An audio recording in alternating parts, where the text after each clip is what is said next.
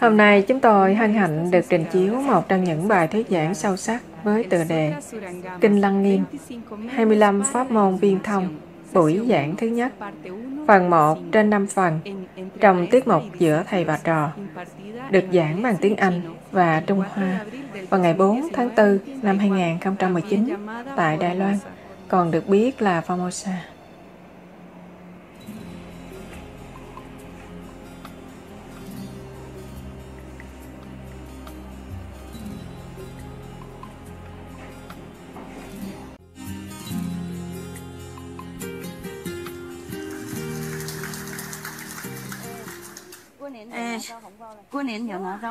Quý vị đã nhận được bao lì xì Tết chưa? Có à? Tuyệt, không có bao lì xì Tết. Không à? Được rồi, bù đắp.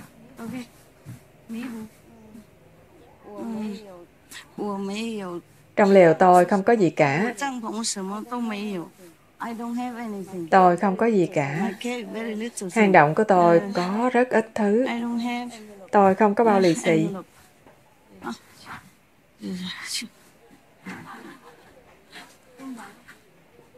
Cúng dường.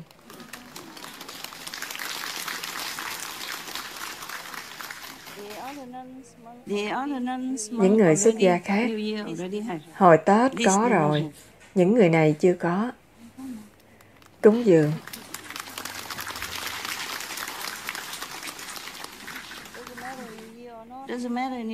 Không cần biết Tết hay không, lúc nào chúng ta cũng có thể cúng dường Tăng Ni.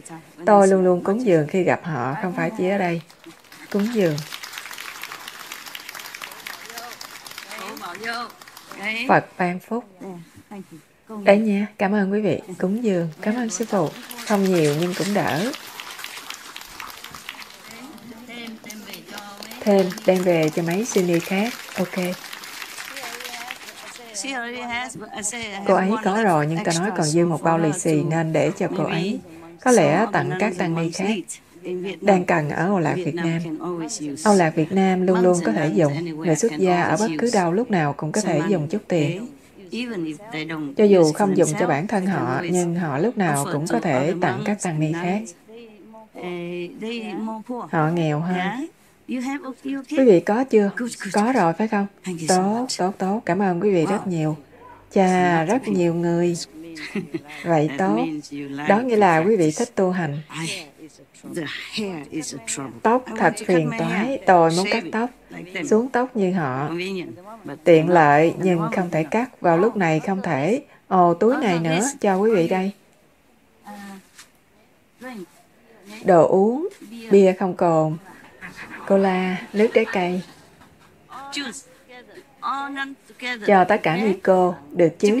Dạ, đây là từ nhà bếp, thỉnh thoảng họ đưa cho tôi một hoặc hai lon. Rồi tôi để dành, không uống.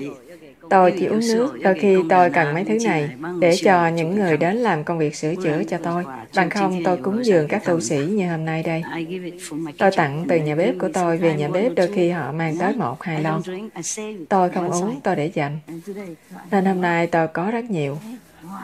Ồ, oh, thật nhiều, nhiều, nhiều.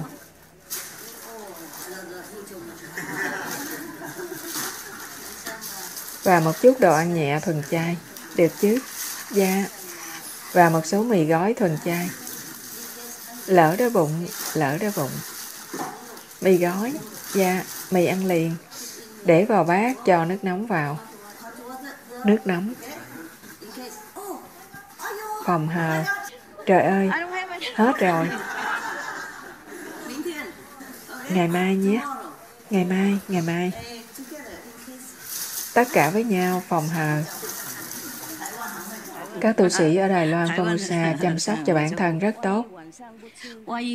Trong trường hợp quý vị bỏ bữa ăn tối, quý vị có thể cảm thấy đói và dạ dày thấy không dễ chịu do axit trong dạ dày. Thì quý vị có thể pha cái này với nước nóng nếu không muốn ăn mì vì như vậy thì quá nhiều trong trường hợp quý vị bỏ bữa tối và cảm thấy đói chỉ cần pha nó với nước nóng rồi uống. Nó có thể làm loãng axit dạ dày, được chứ, thế thôi. Tôi đem theo một ít. Đôi khi nhà bếp cho tôi một ít và tôi để dành. Tôi có một ít bởi vì, xin lỗi, không phải tôi thiếu tôn trọng đâu. Mấy chú chó của tôi thích đồ ăn vặt đó. Tôi không thể cho họ ăn nhiều. Chỉ thỉnh thoảng thôi. Những gói này chưa đụng đến. Tôi chỉ cho quý vị những gói mới lỡ như quý vị cảm thấy không thích ăn vào buổi chiều hoặc buổi tối quý vị có thể uống Ờ. gói này để bảo vệ dạ dày không phải chúng ta muốn phạm giới luật, nhưng đôi khi chúng ta có thể có quá nhiều axit trong dạ dày. Khi còn trẻ thì khác, nhưng khi lớn tuổi, thân thể quý vị đôi khi không thể điều chỉnh được. Quá nhiều axit trong dạ dày sẽ gây đau bụng, cảm giác nóng rát và khó chịu. Chúng ta phải duy trì sức khỏe thể chất của mình để có thể tu hành. Chư Phật Bồ Tát sẽ tha thứ chúng ta, không sao. Người tu quán âm, chúng ta có thể tẩy sạch nó bằng cách thiền nhiều hơn. Chúng ta không làm gì xấu cả. Không dễ để xuất gia. Quý vị chạy khắp nơi ngoài kia, lo kiếm tiền, và không nhận thức rằng làm tu sĩ thì khác. Họ không thể kiếm tiền. Đôi khi họ ngại ngùng hỏi người khác. Thậm chí vì đau bụng, họ sẽ không đến nhà bếp và nói tôi muốn ăn uống gì đó. Chúng tôi không cấm. Tôi chỉ lo rằng họ quá ngại ngùng để đến nhà bếp cho nên tiện thể tôi mang gì đó cho họ. Không gì nhiều vì tôi cũng không có nhiều trong hang động của tôi. Tôi mang bất cứ gì tôi có. Cảm ơn quý vị. Cảm ơn quý vị đã nhận. Cảm ơn sư phụ. Cảm ơn quý vị. Chỉ một chút thôi, phòng khi họ cần. Đặt nó ở một nơi rồi bảo mọi người và các tu sĩ khác biết chỗ. Họ có thể đến lấy khi nào họ cần. Lò đun nước lúc nào cũng có. Nước nóng phải không? Dạ. Mọi người đều biết chỗ lấy nước nóng chứ? Dạ. Nếu họ không biết, xin chỉ cho họ. Đổ nước nóng vào. Hoặc khi cảm thấy muốn uống nước nóng, quý vị cũng có thể đến đó lấy. Đôi khi không cảm thấy khỏe, chúng ta không muốn uống nước lạnh. Chúng ta không đòi hỏi hoặc khó tính chi hết. Chỉ là thân thể này đôi khi không nghe lời. Vậy đừng quá nghiêm khắc. Tu hành mới quan trọng. Thiền nhiều hơn. Truyền bá Phật Pháp nhiều hơn.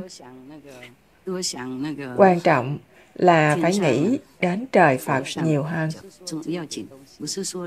Ăn một chút không phải là vấn đề lớn như thế, hiểu chứ?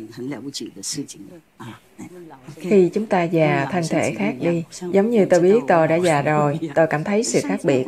Đôi khi thân thể này tôi không biết. Có lẽ đó là nghiệp, đôi khi ở một mình mà không làm gì nhiều và không gặp đồng tu hay người khác một thời gian dài thì cuộc sống của tôi sẽ không quá phức tạp, rất kỳ lạ. Tất cả đều là bệnh kỳ lạ. Quý vị nói gì? Nghiệp đã được tẩy sạch à? Nghiệp đã được tẩy sạch à? Sao quý vị biết? Con có kinh nghiệm mà, có kinh nghiệm mà. Sau khi gặp nhiều người sẽ như vậy. Dạ đúng. Chúng ta có thể bị ảnh hưởng. Dạ. Vậy nếu một người có thể ẩn náu và tu hành một mình, thì họ sẽ là người có phước nhất. À, được rồi, Kinh Lăng Nghiêm. Bắt đầu đây.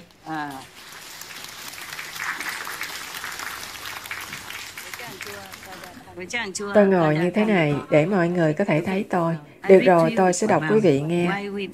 Tại sao chúng ta tu Pháp quán âm? Được chứ? Dạ. Được không?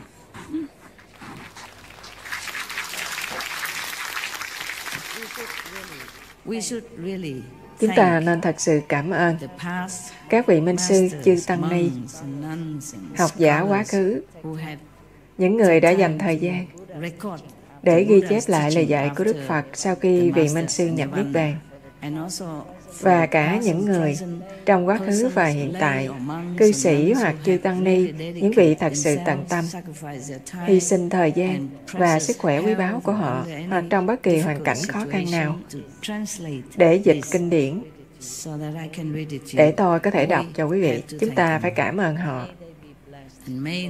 Chúc họ được ban phước mãi mãi bởi tất cả chư Phật, quá khứ, hiện tại và tương lai. Chúc họ công đức vô lượng. Mong họ được giải thoát mãi mãi. Cảm ơn quý vị.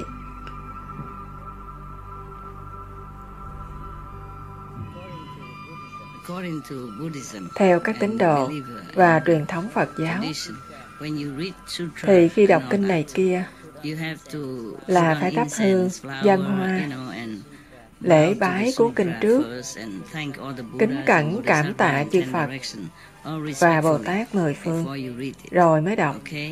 Rồi cũng phải phủ khăn lụa, phần chai hay là miếng vải đẹp lên cuốn kinh đó, nhưng tôi làm theo cách bình dị hơn. Dễ dàng và đơn giản hơn. Xin tất cả chư Phật thứ lỗi cho. Tôi nói nếu tôi có làm gì không đúng, theo truyền thống, nhưng tâm tôi vẫn hết lòng tôn kính. Có điều tôi không thể làm vậy hoài được, cho nên tất cả tội lỗi bất cứ điều gì tôi làm sai, tôi xin nhận lãnh tất cả. Để ít ra, người khác khi họ nghe tới danh hiệu của chư Phật, thì họ cũng được lợi ích theo như kinh điển đã nói.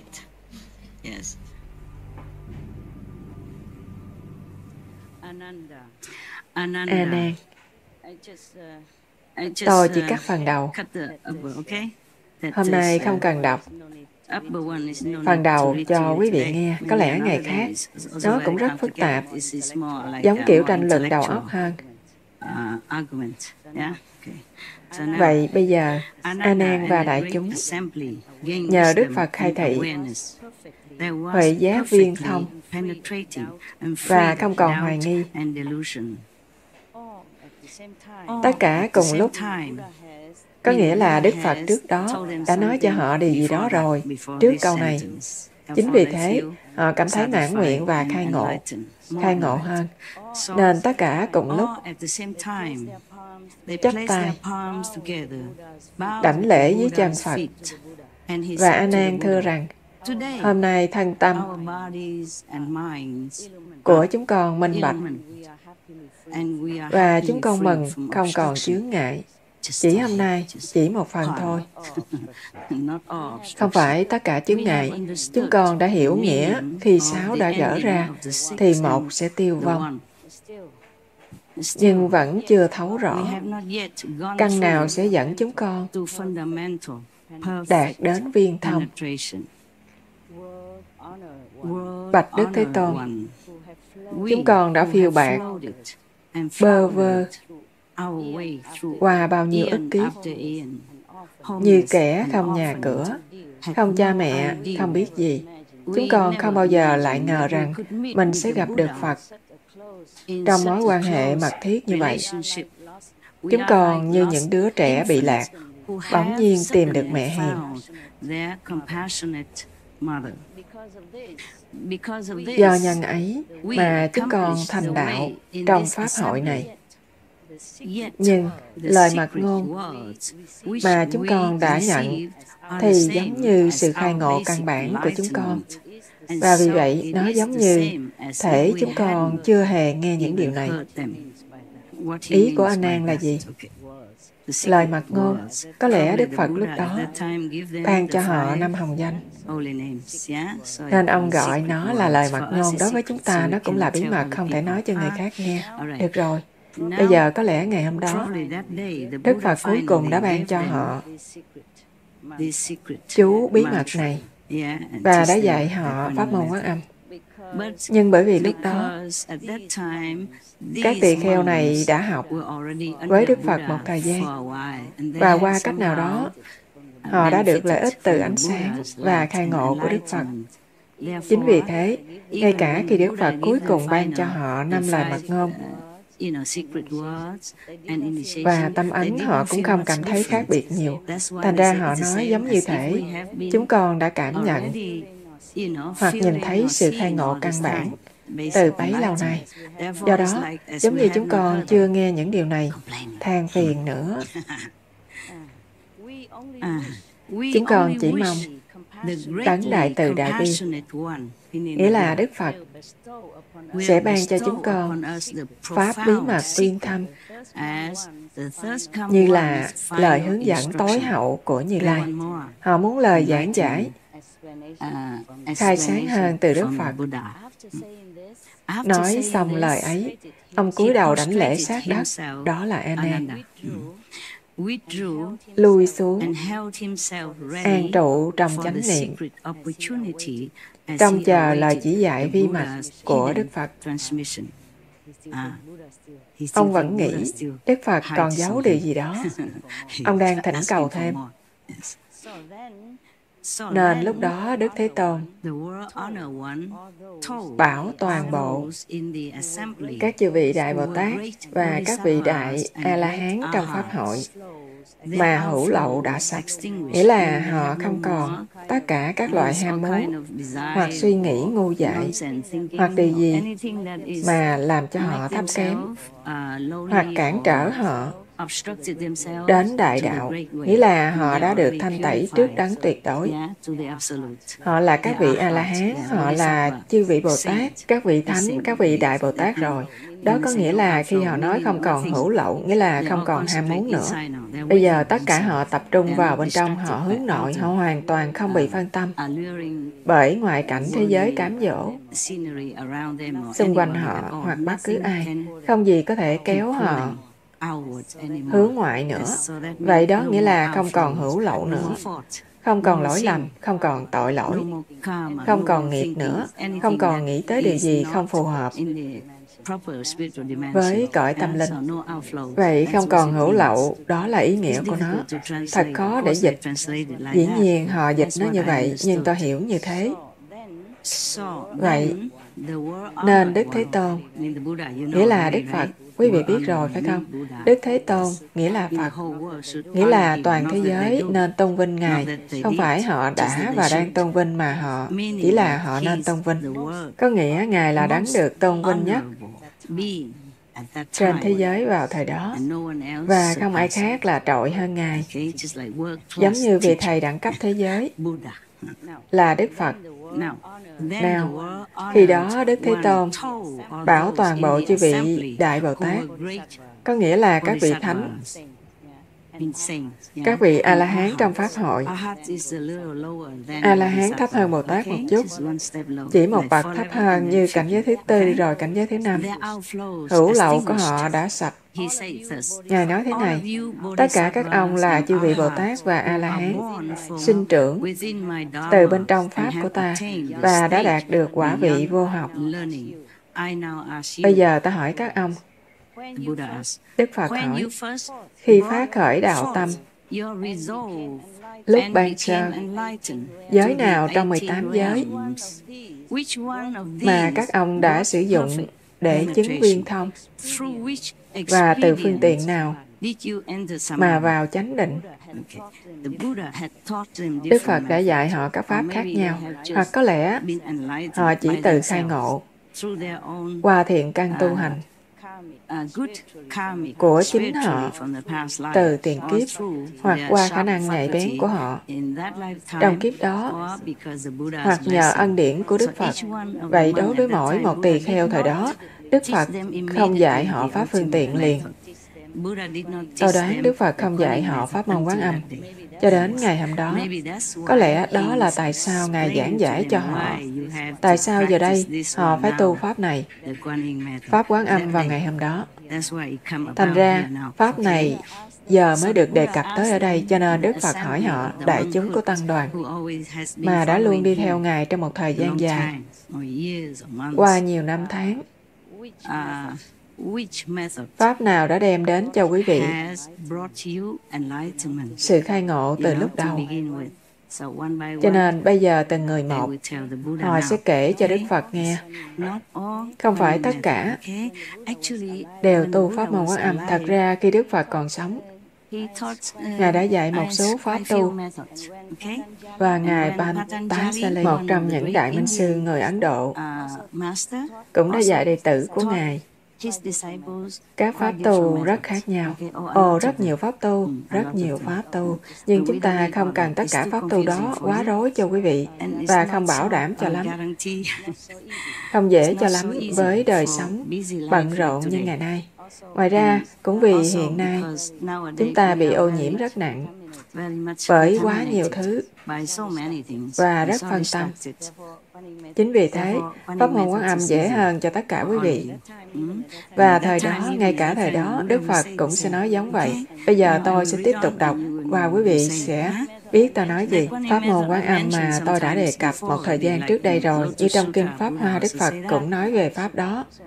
Và những kinh điển khác cũng vậy. Và tôi cũng đã nói trong các kinh điển tôn giáo khác họ cũng đề cập đến pháp đó tại nhiều chỗ khác nhau. Tôi chỉ nói ngắn gọn khi tôi đi thuyết pháp. Nhưng kinh này viết chi tiết hơn. Từng người một. Tôi có thể bảo quý vị vậy, nhưng Đức Phật đã nói rồi. Nên tôi sẽ chỉ đọc kinh này cho quý vị nghe. Từ Đức Phật thì có uy lực hơn. Quý vị biết Đức Phật Ngài đã thọ hơn 250 giới luật. Ngài không nói dối. Điều này đã được viết trắng đen rõ ràng. Ngài không gạt quý vị. Để làm gì? Ngài đi ra ngoài khất thực, ăn mỗi ngày một bữa. Ngài muốn gì từ quý vị, hoặc từ bất cứ ai thời đó. Do đó, những điều Đức Phật nói phải là thật. Được rồi, nào. Một trong những tỳ kheo nghĩa là một trong các cao tăng. Tỳ kheo là nhà sư. Tỳ kheo ni là cô. Tỳ kheo là danh hiệu tiếng Phạn. dành cho nhà sư thọ giới đầy đủ. Hơn 200 giới luật. 250, đúng vậy. 250, khoảng đó. Có lẽ thêm vài giới hoặc ít vài giới, vì sau này Đức Phật nói với A Nan, sau khi Ngài nhập Niết Bàn, một số tỳ kheo có thể giảm bớt một số giới luật nhỏ. Ví dụ như trong vòng hai tuần quý vị không tắm nhiều hơn một lần. À, Đức Phật nói, đối với giới luật như vậy các ông không thể bỏ qua, vì một số vùng, vùng quá nóng mà cũng có rất nhiều nước thì được. Lý do có giới luật đó là khi Phật ở đó, vì họ tập hợp với nhau và có rất nhiều tỳ kheo. Vào thời đó chúng ta không có vòi nước, quý vị phàn nàn về nước ở đây. Nhưng nên biết, nếu sống với Đức Phật thời đó, có lẽ quý vị chỉ được uống mỗi hai ba ngày thôi. Quý vị chỉ có thể tắm hai tuần một lần. Quá nhiều người, và họ không có đủ tiền nghi vật chất. Vậy, dĩ nhiên, hai tuần tắm một lần là được rồi. Đức Phật không biết chứ. Ngài thậm chí không cần phải bảo tôi giữ giới luật đó, tôi không có thời gian để tắm. Quá thường xuyên. Nếu không quá tệ, tôi chỉ lao thôi. Lao người thay quần áo.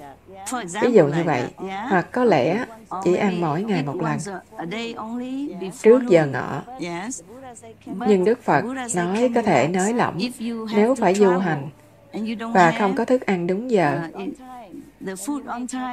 thì quý vị có thể ăn sau đó. Ví dụ như thế. Vì nếu mỗi tỳ kheo đi ra ngoài khất thực cả ngày, thay vì mỗi ngày một lần, làm sao họ có thời gian để nghe giáo lý của Phật? Làm sao họ có thời gian để thiền? Quý vị hiểu điều này không? Hoàn cảnh lúc đó khác. Phật biết điều đó, vì vậy Ngài nói sau khi Ngài nhập Niết Bàn, một số giới luật có thể được nới lỏng. Đó là như thế. Nhưng tôi sẽ không nói thêm nhiều hơn về giới luật vì quý vị không phải người xuất gia. Và những người tôn kính này họ biết rồi. Nếu không phải là tăng ni, quý vị không được phép xem các giới luật đó. Thật ra, quý vị không nên biết về nó. Có lẽ khi biết rồi quý vị không trì giới thì không tốt cho quý vị. vì lương tâm đã biết mà không trì giữ thì quý vị cảm thấy tội lỗi. Có thể quý vị coi thường giới luật đó rồi chỉ nói ồ thật vô lý. thì quý vị sẽ lãnh nghiệp xấu. Đó là lý do. Chỉ khi nào quý vị quyết định bỏ nhà, bỏ thế giới để đi xuất gia, thì có lẽ quý vị xứng đáng để biết giới luật đó. Lúc đó đầu óc quý vị dẫu sao đã cố định với ý tưởng này.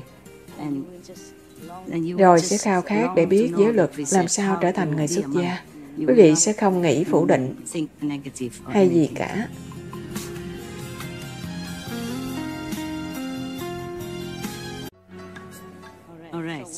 Nên một trong các vị tỳ kheo, vị tăng, thưa với Đức Phật, Ông với vị khác trong nhóm năm vị tỳ kheo liền từ chỗ ngồi đứng dậy, đảnh lễ dưới chân Phật, rồi thưa với Phật rằng, lúc Tôi đoán cả năm người này tu cùng một pháp, nên cả năm người đứng dậy trước. Và thưa với Đức Phật, họ đã tu pháp nào trước tiên để đạt khai ngộ. Vị tỳ kheo này tên là Kiều Trần Nhân. Không quan trọng, Kiều Trần Như. Tên tiếng Phạn khi được dịch sang tiếng Anh đã không còn đúng lắm. Và giọng của tôi khiến nó tệ hơn nữa. Nên không quan trọng. Trong năm vị tỳ kheo. Và người thứ nhất có lẽ là trưởng nhóm cùng với các vị tỳ kheo trong năm tỳ kheo. Liền từ chỗ ngồi đứng dậy. Tôi có nói gì đó ở giữa, chứ không phải chỉ đọc thôi hay quý vị muốn đọc tiếp. Chỉ đọc Đức Phật nói gì đó rồi An An hỏi về điều đó, muốn thế không? Dạ không, không, đôi khi tôi phải giải thích. Có lẽ không cần, nhưng tôi cứ làm thôi. Có lẽ quý vị biết mọi điều rồi, chúng con thích à? Quý vị thích hả? Dạ, thích lịch của tôi đúng không? Quyển lịch. Lịch của quý vị đây. Và thêm nữa, rồi họ đứng dậy. Kiều Trần Như liền từ chỗ ngồi, đứng dậy cùng những vị khác của nhóm năm vị tỳ kheo này, đảnh lễ với chân Phật. Đó là một truyền thống, truyền thống ở Ấn Độ. Khi quý vị muốn tỏ lòng tôn kính, hoặc khi muốn nói, Trước tiên, quý vị đứng dậy. Hoặc nếu đã đứng rồi, thì đảnh lễ với chân của vị thầy, với chân sư phụ mình, và với lòng tôn kính. Rồi quý vị mới nói, hoặc khi quý vị mới đến, khi gặp Đức Phật trước tiên quý vị đi vào nhà của Ngài, thí dụ vậy, gặp Đức Phật quý vị đảnh lễ với chân Ngài, lấy tay chạm vào chân của Đức Phật rồi để lên trán mình như vậy, đó là truyền thống Ấn Độ, để tỏ lòng tôn kính hết mực, vậy đó. Nào, tiếp tục. Và ông thưa với Đức Phật rằng khi con còn ở vườn Lộc Uyển, Lộc Uyển là khi Đức Phật cũng sống ở đó một thời gian trước và thuyết giảng một số pháp, một số giáo lý. Và họ ở đó, năm tỳ kheo này cũng ở đó. Khi con còn ở vườn Lộc Uyển và kê viên, những địa điểm này đều ở Ấn Độ.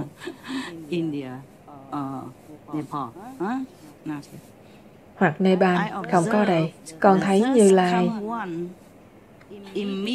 khi mới thành đạo.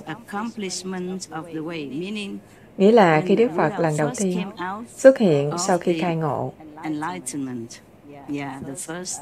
Lần đầu tiên sau khi tu hành trong 6 năm và sau khi ngồi dưới gốc cây bồ đề không ăn không uống hơn 40 ngày Ngài đạt khai ngộ. Rồi Ngài đứng dậy từ dưới gốc cây bồ đề và Ngài đi lang thang khắp nơi. Có lẽ Ngài đã đi đến vườn Lộc Uyển và Kê Viên và đó là nơi Ngài đã gặp năm người này, năm người đầu tiên.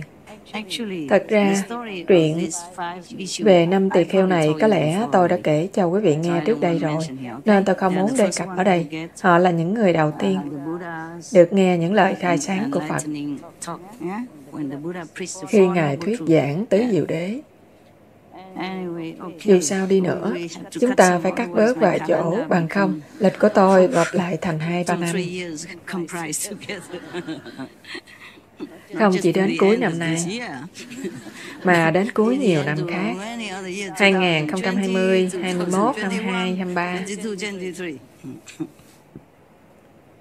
Và nếu tôi chưa kể cho quý vị nghe về những vị tỳ kheo đầu tiên này học giáo lý của Phật, thì có lẽ tôi sẽ nhớ, hoặc quý vị nhắc tôi thì tôi sẽ kể cho quý vị nghe vào dịp khác. Ngay bây giờ, chuyện này không quan trọng cho chúng ta lắm. Vậy điều quan trọng chỉ là họ là những đệ tử đầu tiên và họ đứng dậy trước tiên kể cho Đức Phật. Họ đã tu pháp nào? Họ nói rằng Như Lai khi mới khai ngộ thành đạo. nghĩa là ngài mới đạt sự toàn giác vào hôm đó. hoặc có lẽ chỉ vài ngày trước đó. Và lúc nghe được giọng nói của đức phật con ngộ được tứ diệu đế. Biết không? Tứ diệu đế là gì? ngoài các nhà sư ra có ai biết không? Tôi có nói rồi. Không nghe quên mất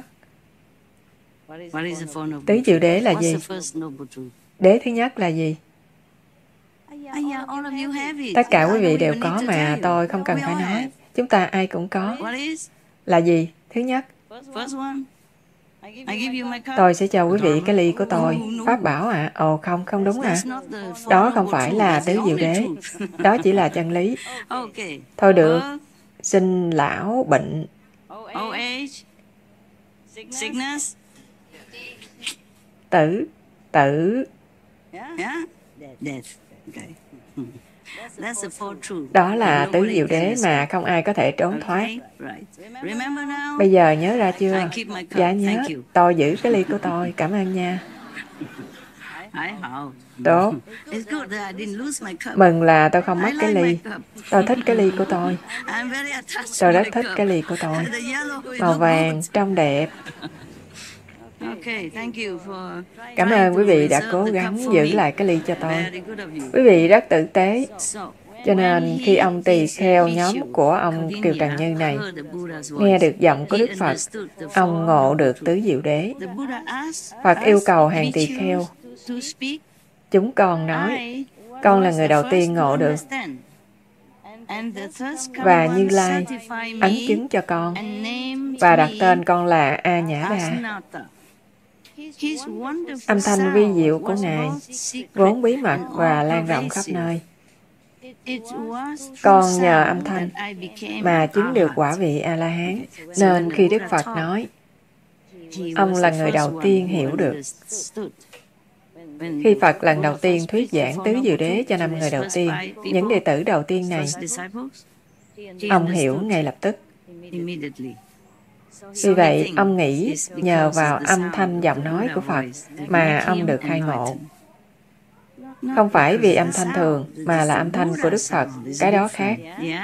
Một âm thanh Phật hoàn mỹ,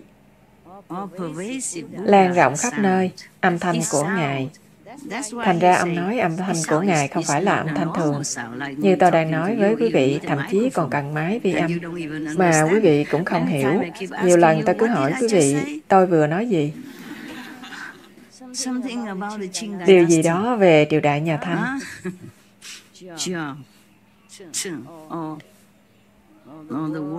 Hay thế giới, khi quý vị chưa ra đời, điều gì đó về lịch sử. Thành ra ta mới nói với quý vị, đừng nghe chuyện thị phi vì thậm chí quý vị đứng đây, ngồi đây ngay trước mặt tôi, tôi dùng máy vi âm. Và ngay cả quý vị hiểu tiếng Anh mà cũng không nghe gì hết. Không biết tâm trí quý vị để đâu mà quý vị không nghe. Không phải quý vị ai cũng hiểu. Tôi không biết quý vị đang nghe gì. Quý vị đang nghe gì vậy? Chúng con đang nghe sư phụ. Lắng nghe sư phụ. Quý vị nói vậy thôi. Chứ quý vị đâu có lắng nghe tôi. Tôi không biết quý vị đang nghĩ về bạn trai ở Phi Châu. Bạn trai mới hoặc có lẽ tương lai, bạn trai tương lai. Bạn trai tương lai, vợ tương lai. Tôi không biết. Vì hôm nay tôi cũng hỏi quý vị mà quý vị không trả lời đúng. Tôi thắc mắc. Thành ra tôi mới nói với quý vị, đừng nghe người ta nói, nhất là chuyện phủ định về người khác. Cho dù quý vị nghe được, nghe tận tai, hoặc thấy tận mắt, chuyện cũng không phải giống vậy hoặc dường như vậy. Có thể không đúng. Quý vị có thể nhầm. Một số tội phạm, người gọi là tội phạm, không làm gì mà vào tù. Vì nhân chứng nói rằng đó là họ. Nhưng không phải họ. Có lẽ trông giống, có lẽ nhân chứng thấy không đúng. Có lẽ họ nghĩ không đúng. Có lẽ lúc đó họ sai. Và hoa mắt, ai biết được, hiểu không? Cho nên một số tù nhân vào tù. Nói sao? Bị kết tội oan và thậm chí bị chết, biết không? Chịu án tử hình. Thành ra một số quốc gia bị bãi bỏ hoàn toàn án tử hình để tránh những sự cố không may này. Những chuyện bất hạnh xảy ra cho người vô tội. Vì vậy, ông nói, nhờ âm thanh mà ông đạt quả vị A-la-hán. Nhưng quý vị phải nghe cho rõ, nghe, lắng nghe cho kỹ. Ông nói âm thanh của Phật âm thanh vi diệu của Ngài, giọng nói là bí mật và lan rộng khắp nơi. Nhờ âm thanh, nhưng đây là âm thanh khác, lan rộng khắp nơi và bí mật. Làm sao có thể như thế? Sao âm thanh có thể bí mật khi Đức Phật đang giảng đạo? Có ai biết không? Cái ly đang đợi cho.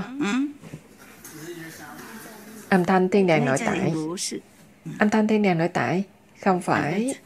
Âm thanh nội tại. Không, không, không phải. Ông nghe được âm thanh của Phật. Ông nói Đức Phật đang giảng đạo, hiểu không? Vì Đức Phật đang giảng tứ diệu đế và ông lắng nghe, rồi ông nghe âm thanh và ông ngộ ngay. Nhưng âm thanh đó bí mật và lan rộng khắp nơi. Quý vị lúc nào cũng làm tôi trông như người thông thái. Lúc nào cũng ép tôi. Nói cho quý vị nghe câu trả lời. Tại sao vậy? Thôi được. Vì tôi không có lựa chọn, tôi giả bộ biết. Được rồi. Và quý vị phải chấp nhận thôi. Vì quý vị không trả lời tôi nên quý vị phải chấp nhận bất cứ câu trả lời nào mà tôi đưa ra. Vì tôi chỉ biết bấy nhiêu thôi. Tôi đoán khi Đức Phật giảng đạo, vì Phật vừa mới xuất hiện sau khi thành đạo với tất cả năng lượng này trong Ngài, được bảo tồn trong 6 năm và 40 ngày thiền định chuyên sâu. Ngài mới ra khỏi bế quan, vậy nên toàn châu thân của Ngài tràn đầy ân điển, Phật lực, ánh sáng và trí huệ. Vào lúc đó, thật bất khả tư nghị, nên năm vị tỳ kheo may mắn. Những vị tu hành này nhận được hết. Ít nhất là họ nhận được tất cả những gì họ có thể hấp thụ vào lúc đó. Cho nên khi Đức Phật đang giảng đạo, ông đã nhập định rồi. Ông vẫn nghe một phía từ giọng trần thế của Đức Phật. Nhưng bên trong ông cũng nghe Đức Phật trong cả mười phương. Vì khi Đức Phật nói gì đó, không chỉ loài người nghe mà thôi, loài vật cũng nghe. Chư thiên nghe. và ma, tất cả ma cũng nghe Ngài, tất cả trong mười phương. Nó vang dội khắp nơi, khắp chốn. Và chỉ khi nào nhập định quý vị mới nghe được. Lúc đó thì khác. Nhưng vì ông đang nhập định nên ông có thể nghe cả hai phần, từ giọng nói trần thế của Phật và bên trong. Giọng nói thật của Phật. Chính vì thế ông nghĩ, à, khai ngộ là như thế. Ta đã khai ngộ vì nghe được giọng nói của Phật, mà âm thanh đó bí mật và lan rộng khắp nơi. Bí mật vì ông nghe nó bên trong và lan rộng khắp nơi. Như thể Đức Phật chỉ nói thì thầm với ông. Vì lúc đó ông không thấy gì nữa. Ông không nghe gì khác. Ông không thấy bốn vị tỳ kheo kia. Ông không thấy ai khác. Ông không thấy điều gì cả. Chỉ mỗi Đức Phật và ông. Chỉ mỗi giọng nói của Đức Phật. Thành ra ông nói nó bí mật. Nhưng rồi nó ở khắp nơi, khắp chốn trong mười phương mà ông có thể nghe. Vì lúc đó ông đã khai mở nhĩ căn. Ân điển của Đức Phật khiến cho nó xảy ra như thế. Trong sự hiện diện của Đức Phật, nhiều điều vi diệu xảy ra, nên điều này đã xảy ra với ông. Và ông nghĩ, ồ, nhờ Đức Phật giảng đạo mà ta đạt khai ngộ. Bây giờ quý vị hiểu chưa? Dạ hiểu, chấp nhận hay không thì tùy, vì quý vị không có câu trả lời nào sáng suốt hơn cho tôi cả.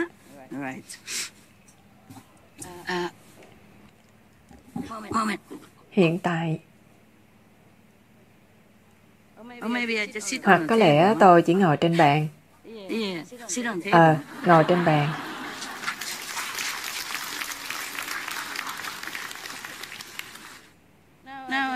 Giờ tôi có thể ngồi như Phật. Cảm ơn quý vị. Rồi, tiếp tục. Phật hỏi chúng con về viên thông vì con đã được ấn chứng với nó nên âm thanh giọng nói là phương pháp siêu việt nhất đối với ông phải không thế lỡ quý vị không có ai từng nói chuyện với mình thì sao? thế lỡ quý vị sống ở trong rừng. Chỉ có loài vật hoặc chim hót thì sao? Làm sao lúc đó quý vị đạt khai ngộ? Hiểu không? Nhưng Đức Phật sẽ nói cho quý vị biết sao. Bây giờ tôi không nói, tôi không nói. Ôi trời ơi, quên chứ tôi kể phần kết của phim rồi. Nhưng đó chỉ là một điều, còn nhiều điều khác nữa. Bây giờ là vị tỳ kheo khác. Bất cứ ai sống với Đức Phật thời đó là chỉ tỳ kheo, không phải là tỳ kheo ni. Tỳ kheo ni đến sau, các ni cô đến sau, khi vị mẫu của Ngài đến, cầu xin được xuất gia theo Ngài. Đó là lúc bắt đầu có các ni cô. Trước đó Ấn giáo không có ni cô nào, vì rất bất tiện. Họ nghĩ phụ nữ ở Ấn Độ không thể đi ra ngoài mà không có đàn ông hoặc thành viên gia đình đi cùng. Bằng không, họ sẽ bị coi thường bị quấy nhiễu hoặc sàm sỡ. Ngày nay vẫn còn, hiện vẫn còn. Ít hơn, dĩ nhiên, ít hơn, ít hơn so với trước đây. Bây giờ họ tự do hơn, nhưng có lẽ tại một số vùng hẻo lánh, phong tục đó vẫn còn thịnh hành. Và bất cứ phụ nữ nào đi một mình cũng là điều không thể chấp nhận. Ở Ấn Độ, không được tôn trọng, vậy nên lúc đó, bất cứ ai sống với Phật, dù tôi không nói là tỳ kheo, thì quý vị nên biết đó là tỳ kheo. Vì ở đây không nói tỳ kheo Upanisada, mà chỉ nói Upanisada, thì quý vị nên biết ông là một trong các tỳ kheo. Bất cứ ai sống với Đức Phật thời đó, Đức Phật không có nhà và không có thức ăn cho quý vị. Ở đó, Phật không có ai nấu ăn cho quý vị. Vậy nếu muốn sống ở đó, quý vị phải làm tỳ kheo, nghĩa là phải đi ra ngoài. khất thực tự chăm sóc bản thân. Đức Phật không chăm sóc về mặt vật chất cho các tỳ kheo của Ngài. Mọi người tự chăm sóc chính mình như vậy dễ dàng hơn.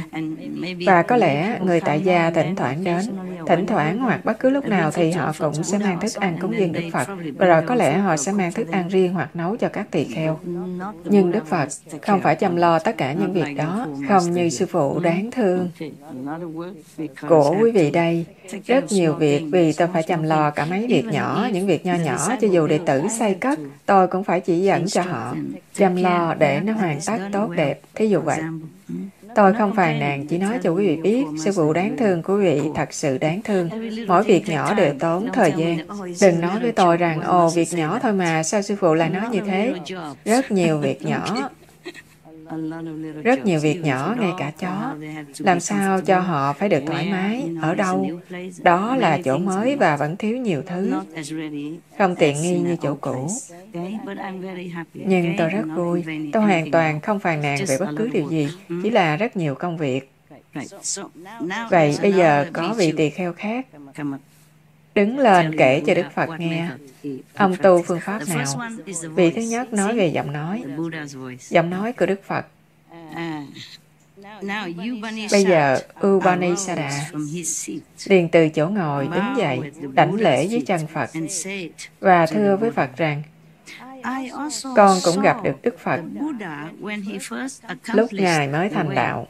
Có lẽ ở đây là những đệ tử đầu tiên. Vì vậy, họ thay phiên nhau đứng lên nói. Đến trước, nói trước. Thành ra đầu tiên là nhóm năm người rồi bây giờ. Tuvani Sada cũng là một trong những đệ tử đầu tiên. Có lẽ không cùng với nhóm năm người đó, nhưng có lẽ nhóm thứ nhì đầu tiên. Vì vậy, họ đứng lên từng người một. Tuvani Sada nói, con cũng gặp được Phật lúc Ngài lần đầu tiên xuất định. Sau khi đạt khai ngộ viên mãn, con học cách quán tưởng bất tịnh. cho đến khi sinh lòng nhàm chán và ngộ được bản chất của mọi sắc tướng đều bất tịnh tướng xương trần và tướng vi trần đều quy về hư không. Và vì thế cả hư không và sắc tướng đều là không. Với sự liễu ngộ này con thành tựu đạo vô học như Lai ấn chứng và đặt tên cho con là Nisada. Sắc tướng dứt sạch thì chân tánh hiện rõ. Như vậy, qua sắc tướng mà con đạt quả vị A-la-hán. Phật hỏi chúng con về viên thông vì con đã được ấn chứng với nó. Nên sắc tướng là phương tiện vượt bậc. Sắc tướng nghĩa là gì? Như cô là hình sắc, anh là hình sắc tôi trong sắc tướng của con người hoặc bất cứ vật nào khác ở đây đều có sắc tướng. không khí không có sắc tướng. nước có lẽ không có nhưng cái này hoặc cái này có sắc tướng.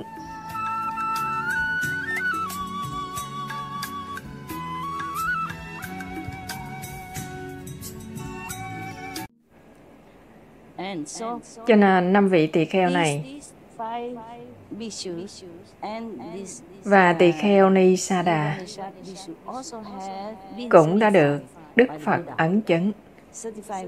Ấn chứng nghĩa là khi họ kể cho Ngài về thể nghiệm của họ. Đức Phật nói, À, là như thế, các ông đã nhập định. Bây giờ các ông đã đạt đẳng cấp A-la-hán. Chúc mừng. Tốt.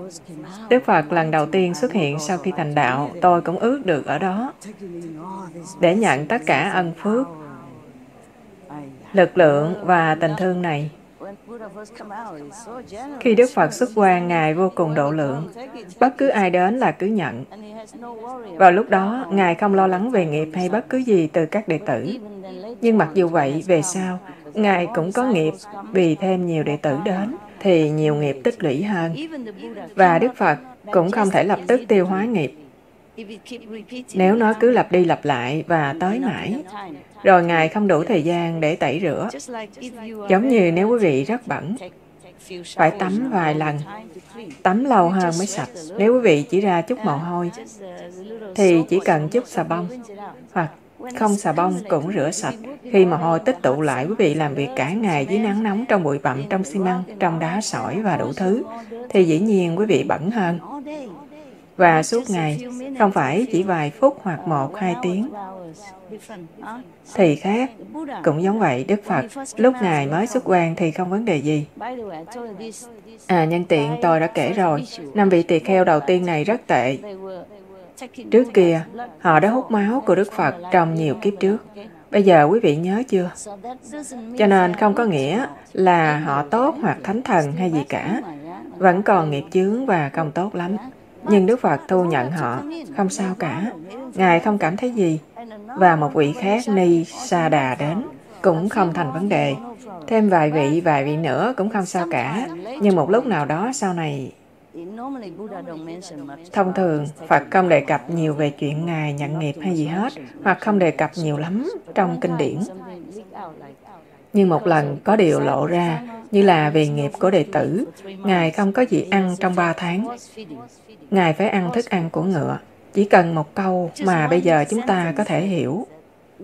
Tiết lộ bí mật rằng Đức Phật cũng lãnh nghiệp từ đệ tử và cũng hầu hết trong Thánh Kinh, không ai đề cập rằng Chúa Giêsu cũng không nói lãnh nghiệp hay gì cả. Ngài nói hãy đến với ta. Những ai mang gánh nặng, ta sẽ nâng đỡ và làm các ngươi vui trở lại. Nhưng sau này, trong một hai câu họ nói về nghiệp của môn đồ, mà Ngài phải bị đóng đinh. Không cần nói nhiều. Vậy thì chúng ta biết là Ngài lãnh nghiệp hoài không chỉ một lần. Nếu được đề cập một lần thì nghĩa là luôn luôn, thường xuyên. Vậy Đức Phật lúc đó, Ngài mới xuất quan đầy lực lượng, mạnh mẽ, không có đệ tử, chỉ có một, hai người, thậm chí hai chục, hai trăm đệ tử. Cũng quá dễ dàng đối với Ngài. Sau này, hai ngàn, hai trăm ngàn hoặc có lẽ hơn thì Ngài mới suy sụp chỉ một chút. Và cũng vì đệ tử mà Ngài không thể ở lại lâu trên thế gian. Đáng lẽ ra, Ngài ở lại lâu mãi mãi, nhưng A Nan không trả lời, không thỉnh cầu Ngài ở lại, không nói, ồ, xin Ngài ở lại. Nên cuối cùng Phật phải ra đi. Không ai mời Ngài ở lại. A Nan bị che mờ và bị mù quáng bởi nghiệp của mọi người quanh ông và cũng bởi nghiệp của đệ tử của Phật nữa, hiểu không? Không phải lỗi của riêng A Nan, không phải lỗi một mình ông, mà đây là lưới của ma vương bủa vây lên ông và khiến ông không hề hiểu được ngụ ý của Đức Phật. Thấy không? Đức Phật không thể nói rõ ràng cho ông, A Nan, ta sẽ nói rằng ta sẽ ở lại mãi mãi. Vậy ông phải thỉnh mời ta, nghe không? Phật không thể làm vậy. Nhưng lúc đó, A Nan không đủ khai ngộ. Tất cả đều phải như vậy. Không phải lỗi của ông. Chỉ sau khi Phật nhập Niết Bàn, Tăng đoàn coi thường ông, nghĩ ông luôn luôn là một người sống bên Đức Phật và không đủ khai ngộ. Vì vậy họ đuổi ông ra. Đuổi ông ra khỏi Pháp hội. Nói, ông không xứng đáng ở đây với chúng tôi. Và họ đuổi ông ra, ông rất buồn bã và hổ thẹn. Rồi ông đi vào rừng ngồi thiền chỉ một đêm thôi là đạt khai ngộ, đủ để trở lại tăng đoàn. Và sau này ông đã trở thành một trong những người kế vị của Phật. Nhưng đó là A Đừng mơ được vậy nhé.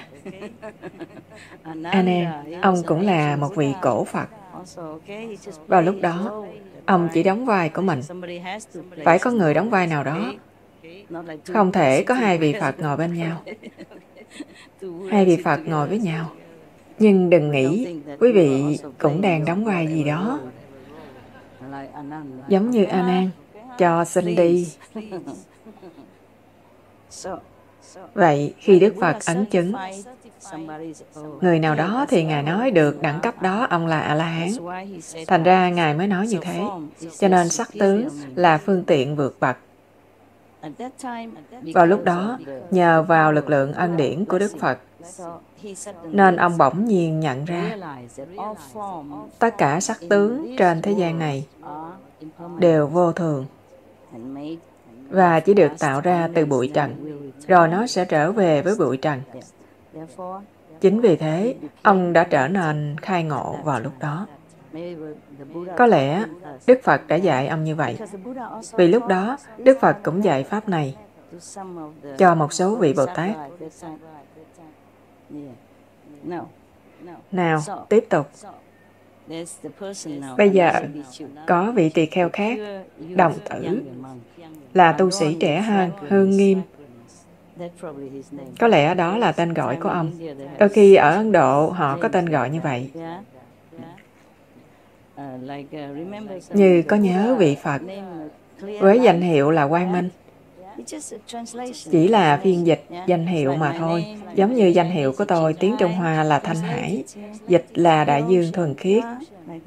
Như thế đó, như tên gọi của quý vị, ví dụ là Rose, đó là một bông hồng. Vậy đồng tử, một trong các nhà sư thuần khiết còn rất trẻ, Hương Nghiêm, tên của ông, liền từ chỗ ngồi đứng dậy, đảnh lễ dưới chân Phật.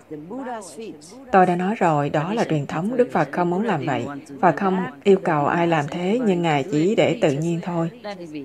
Bằng không, ai cũng đi lên đảnh lễ. Rồi Ngài nói không cần, không cần, rồi những người khác đến lại nói không cần, không cần. Ngài sẽ nói suốt ngày không cần, không cần, xin đừng làm vậy. Thế thì quá nhiều phiền phức. Thời của tôi thì dễ hơn, vì tôi nói bằng máy vi âm và mọi người thu lại. Và quý vị đã nghe ngóng được sư phụ nói đừng đảnh lễ Ngài, đừng tôn sùng, đừng cúi lại, không làm như vậy. Tôi cũng không cần nhiều tung hô. Tôi biết quý vị thương tôi, thành ra quý vị mới bỏ ngôi nhà thoải mái của mình để đến chèn chút nhau ở đây. Tôi biết điều đó. Thỉnh thoảng quý vị có thể biểu lộ, nhưng đừng có làm hoài. Không cần, chúng ta là gia đình. Nếu thấy mẹ mình đi làm về, quý vị có vỗ tay không? Hoặc nếu sếp đến làm việc, quý vị có vỗ tay không? Nhưng dù là tôi thâu băng lại, và chúng ta có truyền hình vô thượng sư nói với mọi người không cần đánh lễ tôi. Thế mà vẫn có lần một ông cụ người Âu Lạc Việt Nam, đồng chí từ Âu Lạc Việt Nam, ông muốn quỳ lại tôi ba lần. Ông nói vì đó là truyền thống Âu Lạc Việt Nam rằng khi quý vị được một vị minh sư chấp nhận mà quý vị tôn kính và tin tưởng quý vị cần phải quỳ lại ba lần. Và có người cũng mang một số quà tặng, cũng là truyền thống, nhưng tôi nói không, không ai quỳ lại ai ở đây hết. Đừng làm vậy, vì nếu quý vị quỳ lại tôi thì tôi cũng quỳ lại quý vị và bây giờ tôi đã quá già rồi. Đầu gối tôi không thích quá nhiều phiền phức, cho nên tôi phải bảo ông ấy mấy lần rồi ông mới dừng. Nhưng ông cũng không cảm thấy vui cho lắm về điều đó. Đối với ông hẳn là tốt hơn nếu ông quỳ lại ba lần thì tốt hơn. Thì tâm ông sẽ cảm thấy trọn vẹn hơn, mãn nguyện. Mãn nguyện hơn, hài lòng hơn. Tôi biết nhưng tôi không để ông làm. Ông chỉ cần đi quỳ lại Phật ở nơi nào khác. Và có lẽ có thể quỳ lại ở nhà kính đáo riêng tư. Trước tấm hình thì được, không ai nói gì cả. Tại sao phải quỳ lại trước đại chúng để làm gì và nếu tôi cho phép ông? Thì ai cũng muốn làm thế. Sao ông làm được? Tại sao? Rồi, ai cũng đến quỳ lại thì chúng ta không có thời gian làm gì hết. Nhìn xem nếu tôi ngồi đây bây giờ tất cả quý vị đến trước mặt quỳ lại ba lần. Tưởng tượng bao giờ mới xong đây? Rồi còn chờ đợi rồi bụi bặm và không có thời gian dành cho kinh lăng nghiêm. Không có thời gian ăn tối không điểm tâm không dọn dẹp đại điện không thiền không gì cả. chỉ xếp hàng. quỳ lại hết cả ngày xếp hàng. hiểu không? Dạ. À, chúng ta tôn kính bên trong và như vậy tốt rồi. Tôi biết quý vị thương tôi dù sao quý vị có thương và có. Ít ra là đa số quý vị cũng không quan trọng nếu quý vị không thương tôi. Tôi thương quý vị. Thương 100%. Giống như một anh chàng. Anh yêu tha thiết một cô gái nhưng cô ấy không yêu anh. Chuyện đó tôi đã kể trước đây rồi, nhưng rất phù hợp ở đây. Anh chàng, anh cứ đi theo, anh cứ đuổi theo cô gái, làm đủ mọi cách, tặng quà này kia cho cô. Rồi người bạn khác cảm thấy thương cho anh, nói, Cô ấy không thích anh. Cô ấy không yêu anh, cô ấy không quan tâm đến anh. Sao anh lại phí thời gian như thế? Không đâu, tình yêu của chúng tôi là một trăm phần trăm. Anh nói gì vậy? Người bạn nói, ai cơ? Ai yêu một trăm phần trăm? Ý anh là cô ấy yêu anh 50. Anh ấy nói không phải. Tôi yêu cô ấy một trăm phần trăm. Tình yêu của tôi là đủ cho cả hai rồi. Lý luận kiểu đó thật dễ thương. Thôi được rồi. Vậy, hương nghiêm, tỳ kheo hương nghiêm này, bạch với Phật rằng,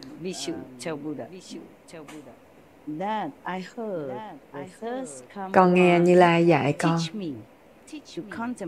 Quan sát thật kỹ tất cả các tướng hữu vi sau khi con nghe Đức Phật hướng dẫn như vậy, con ngồi ở một nơi thanh tịnh và yên tĩnh như quý vị ngồi thiền trong góc nhà của mình. Con ngồi ở một góc thanh tịnh và yên tĩnh. Khi ấy các vị tỳ kheo đốt hương trầm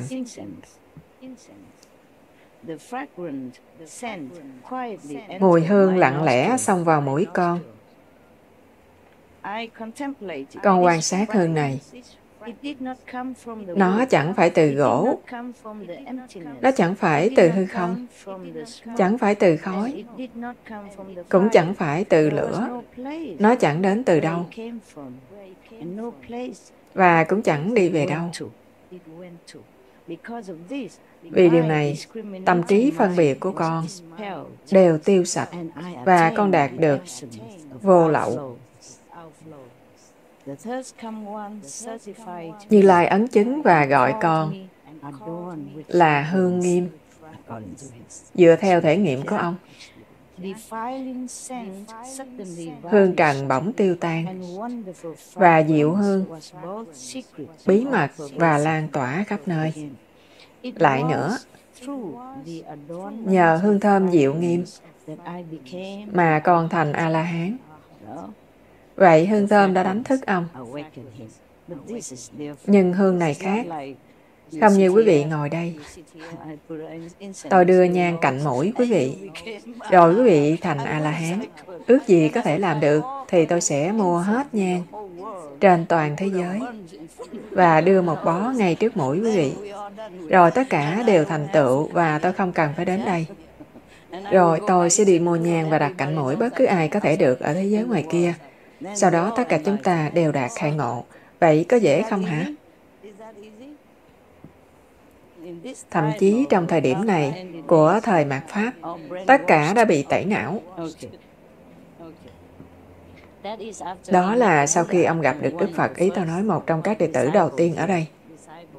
Đức Phật lúc này vẫn còn mạnh mẽ, trẻ trung, đầy lực lượng, mới đắc đạo.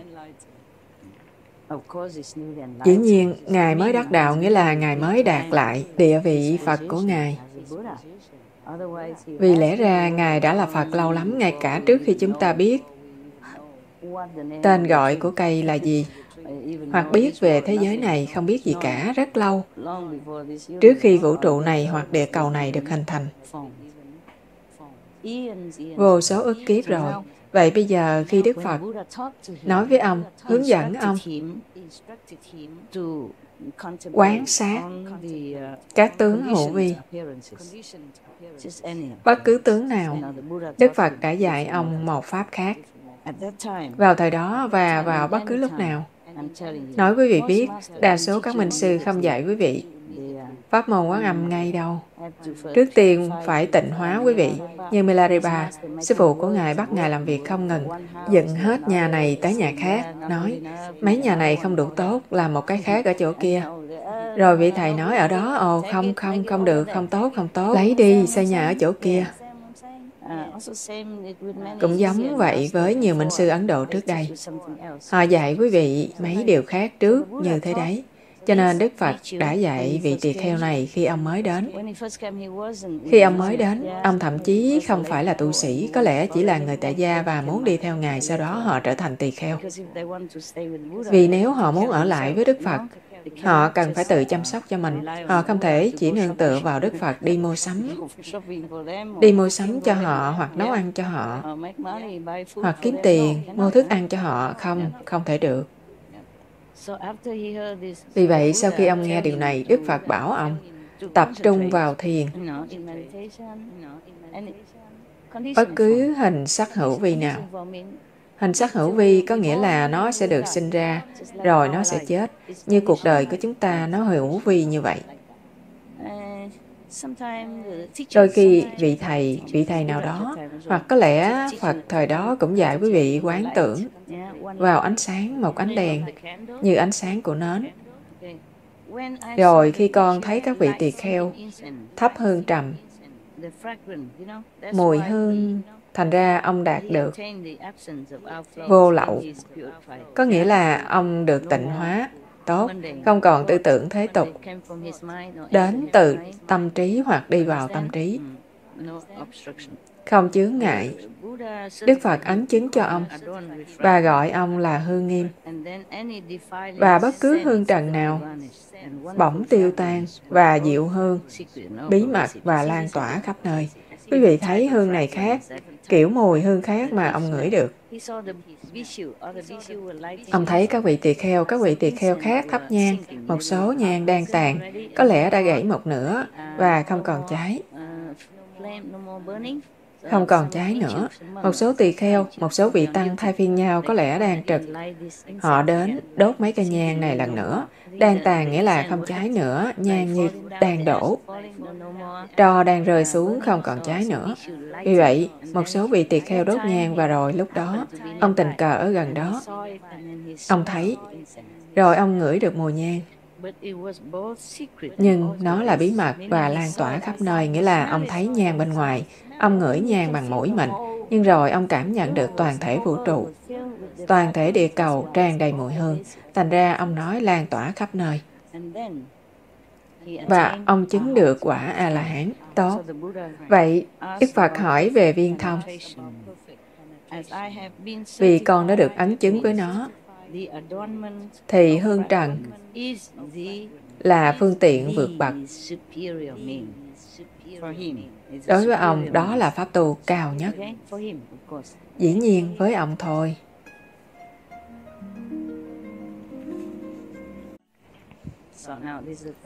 Nào, tiếp tục. Đây là phương tiện vượt bậc thứ ba mà chúng ta đã nghe. Tất cả họ, tất cả ba nhóm đã đạt được quả vị A-la-hán, tịnh hóa, nhập định. Dĩ nhiên, vào lúc đó, khi ông ngửi mùi nhang đó, ông đã nhập định, nhờ ân điển của Đức Phật, vì Đức Phật vừa mới bảo ông đi thiền. Ân điển của Đức Phật cũng đi cùng với ông. Không chỉ hướng dẫn bằng miệng, mà Phật còn nói gì đó ban phước cho mình. Rồi, ông đi thiền và ông đã nhập định, nhưng ông vẫn ngửi được mùi trầm từ mũi của ông. Nhưng ông nhìn thấy, ông cảm nhận hương nhang, lan tỏa khắp mười phương. Thành ra ông cảm thấy đó là bí mật riêng tư, chỉ cho riêng ông, nhưng cũng ở khắp mọi nơi, vì ông đã được thăng hoa. Ông đã được nâng lên rồi. Nói quý vị hay những điều này có thật. Đúng như vậy. Quý vị có thể thấy bên ngoài và bên trong cùng một lúc. Quý vị có thể ở bên ngoài đây và bên trong cùng một lúc. Và khi quý vị đi xuống nửa chừng, thì quý vị vẫn có thể thấy ánh sáng lóe lên. Giống như thỉnh thoảng khi ngủ có gì đó đột nhiên đánh thức quý vị dậy. Và khi trở vào thân thể ánh sáng vẫn còn lóe lên, nhưng sau đó dĩ nhiên nó biến mất. Những điều như vậy xảy ra và cũng đã xảy ra cho tôi. Hôm nay tôi mới kể cho các em nhỏ vài chuyện về chính tôi. Tôi thấy những thứ mà không có ở đó. Như tôi thấy một cái ghế sofa đẹp, ghế mà tôi tưởng tượng ra thế. Và rồi nó không như vậy, không phải là cái ghế sofa đó, mà nó xấu y như cái ghế sofa tôi đã không thích. Và tôi thấy toàn bộ Đài Loan Formosa trở thành châu Âu. Nhưng không phải vậy. Tôi đang ở Đài Loan Formosa, thậm chí tôi gọi mọi người để nói tôi đang ở Đài Loan Formosa hay tôi đang ở Âu Châu. Và tất cả họ xác nhận rằng tôi đang ở Đài Loan Formosa. Thưa sư phụ, Ngài đang ở Đài Loan Formosa và bây giờ chúng ta đang ở tại Tây Hồ. Sau lần xác nhận thứ ba, Tôi mới nhận ra. Và rồi tôi nhìn thấy ghế sofa mà không phải cái ghế sofa đó. Tôi đứng trước nó và khen, ồ, đây là ghế sofa mà quý vị nên mua, cái này tốt. Đây là ghế sofa mà tôi muốn quý vị có, tuyệt vời, tuyệt vời. Và lát sau tôi nói hãy mua cho tôi một ghế sofa như vậy. Họ mua cho tôi một cái có cùng kiểu dáng như cái cũ mà tôi vốn không thích. Họ nói thưa sư phụ, nhưng cái này ngài đã chỉ thị chúng con mua cùng một loại ghế sofa mà. Tôi nói cùng loại cái màu trắng đẹp mà tôi đã khen trước mặt quý vị đó. Họ nói dạ, chúng con nghe ngài khen ghế sofa, nhưng chúng con không biết tại sao bởi vì trước đây ngài nói ngài không thích ghế sofa đó. Về cả Tây Hồ, không chỗ nào có ghế sofa trắng này và thậm chí không có trong bất cứ danh mục nào mà chúng ta xem. Vậy nên sau đó tôi chịu thua, tôi đành chấp nhận cái ghế sofa xấu xí đó mà tôi không thích trước đây. Vì tôi cứ di chuyển rồi thế nào, họ cũng sẽ mua cho tôi một ghế sofa xấu xí khác nên tôi nói thôi kệ chỉ dành cho chó và tôi cũng tốt. Và tôi cũng nói với các em nhỏ, Đôi khi họ mua cho tôi nước ép trong chai nhựa và họ đưa cho tôi chỉ như thế đó. Và trước đó tôi sống ở nơi không có nước lọc nên tôi chỉ uống nước ép. Đôi khi nhà bếp họ mang cho tôi một số, đôi khi một chai, hai chai. Rồi tôi uống để lấy chai dùng. Tôi để dành khoảng 6 chai để rửa tay hoặc đôi khi thấm ướt vải để lau chùi gì đó. Như vậy tôi không phải đi ra ngoài lúc trời mưa để lấy nước cho nên lúc đó tôi có sáu chai nước nhà nhỏ. Nhỏ cỡ này sáu chai. Đặt nó ở đó bên cạnh cái xô để tôi có thể rửa tay hoặc xả khăn khi tôi không muốn đi ra ngoài để lấy nước, tôi luôn luôn có chút nước bên trong, ngoài ra rất thuận tiện. Đôi khi họ cúp nước vì họ thường phải sửa ống nước và những thứ ở đây. Cho nên tôi luôn có chút nước phòng hờ, cảm thấy mình rất thông minh. Và mỗi khi dùng nước đến khi chỉ còn một chai hoặc không còn, thì tôi mang tất cả chai ra ngoài đổ đầy nước vào các chai rồi mang vô trở lại. Và tôi để mấy chai trong túi, mấy chai lấy tay kẹp, mang tất cả sáu chai vào bên trong lại với nhau. Hôm nọ, ờ, như thường lệ. Tôi luôn luôn đặt chai ở trước. Bất cứ chai nào hết nước tôi đặt ngay trước cửa. Đằng sau cánh cửa. Trước khi tôi mở cửa là thấy ngay, ngay trước cửa. Nhưng cái cửa này có hai cánh, một cánh tôi chốt cố định. Để không phải lúc nào cũng mở bên đó, vì nếu không đóng ít nhất một bên cửa thì gió sẽ thổi. Dù có khóa, nó vẫn phát ra tiếng lạch cạch, vậy nên tôi để sáo năm hoặc sáu cái chai, năm cái chai ở đằng trước cánh cửa chốt lại đó. Cánh kia có thể luôn luôn mở chốt và đi ra đi vào một cánh là đủ cho tôi rồi, tôi nhỏ người mà. Không cần hai hoặc cả hai cánh đều mở. Họ làm hai cánh là phòng khi quý vị mang đồ nội thất vào, nhưng tôi không có đồ nội thất nào. Tôi chỉ có một cái ghế đẩu, một cái ghế đẩu hai bậc. Quý vị có thể dùng nó như cái ghế và cũng để trèo lên cao hơn để sửa tấm màn hay gì đó. Thế là đủ. Tôi không có bàn vì hang động đã có sẵn. một số phiến đá cao. Có thể dùng nó làm bàn. Có nhiều thứ để làm gì rồi lúc nào cũng phải lao phổi bụi à. Tôi lười làm việc quá nhiều rồi. và tôi đặt mấy cái chai ở đó năm cái với nhau. để ngay cạnh cửa để khi đi ra ngoài tôi sẽ đem chúng ra theo. Tôi sẽ không quên hiểu không? Không phải quay lại bên trong một lần nữa để đem chai ra ngoài Khi nào một cái chai hết nước là tôi để nó ngay đó. Vậy, cửa là như thế này. Đây là bên trong nhà, bên trong. Đây là cửa và khi tôi muốn mở, tôi mở như thế này. Và cánh này chốt cố định. Cánh cửa này mở ra khi tôi muốn. Không thì tôi khóa chúng với nhau. Tôi khóa để cảm thấy an toàn. Và ban đêm tôi khóa xích đôi và thêm một ổ khóa để tương đương ba ổ khóa.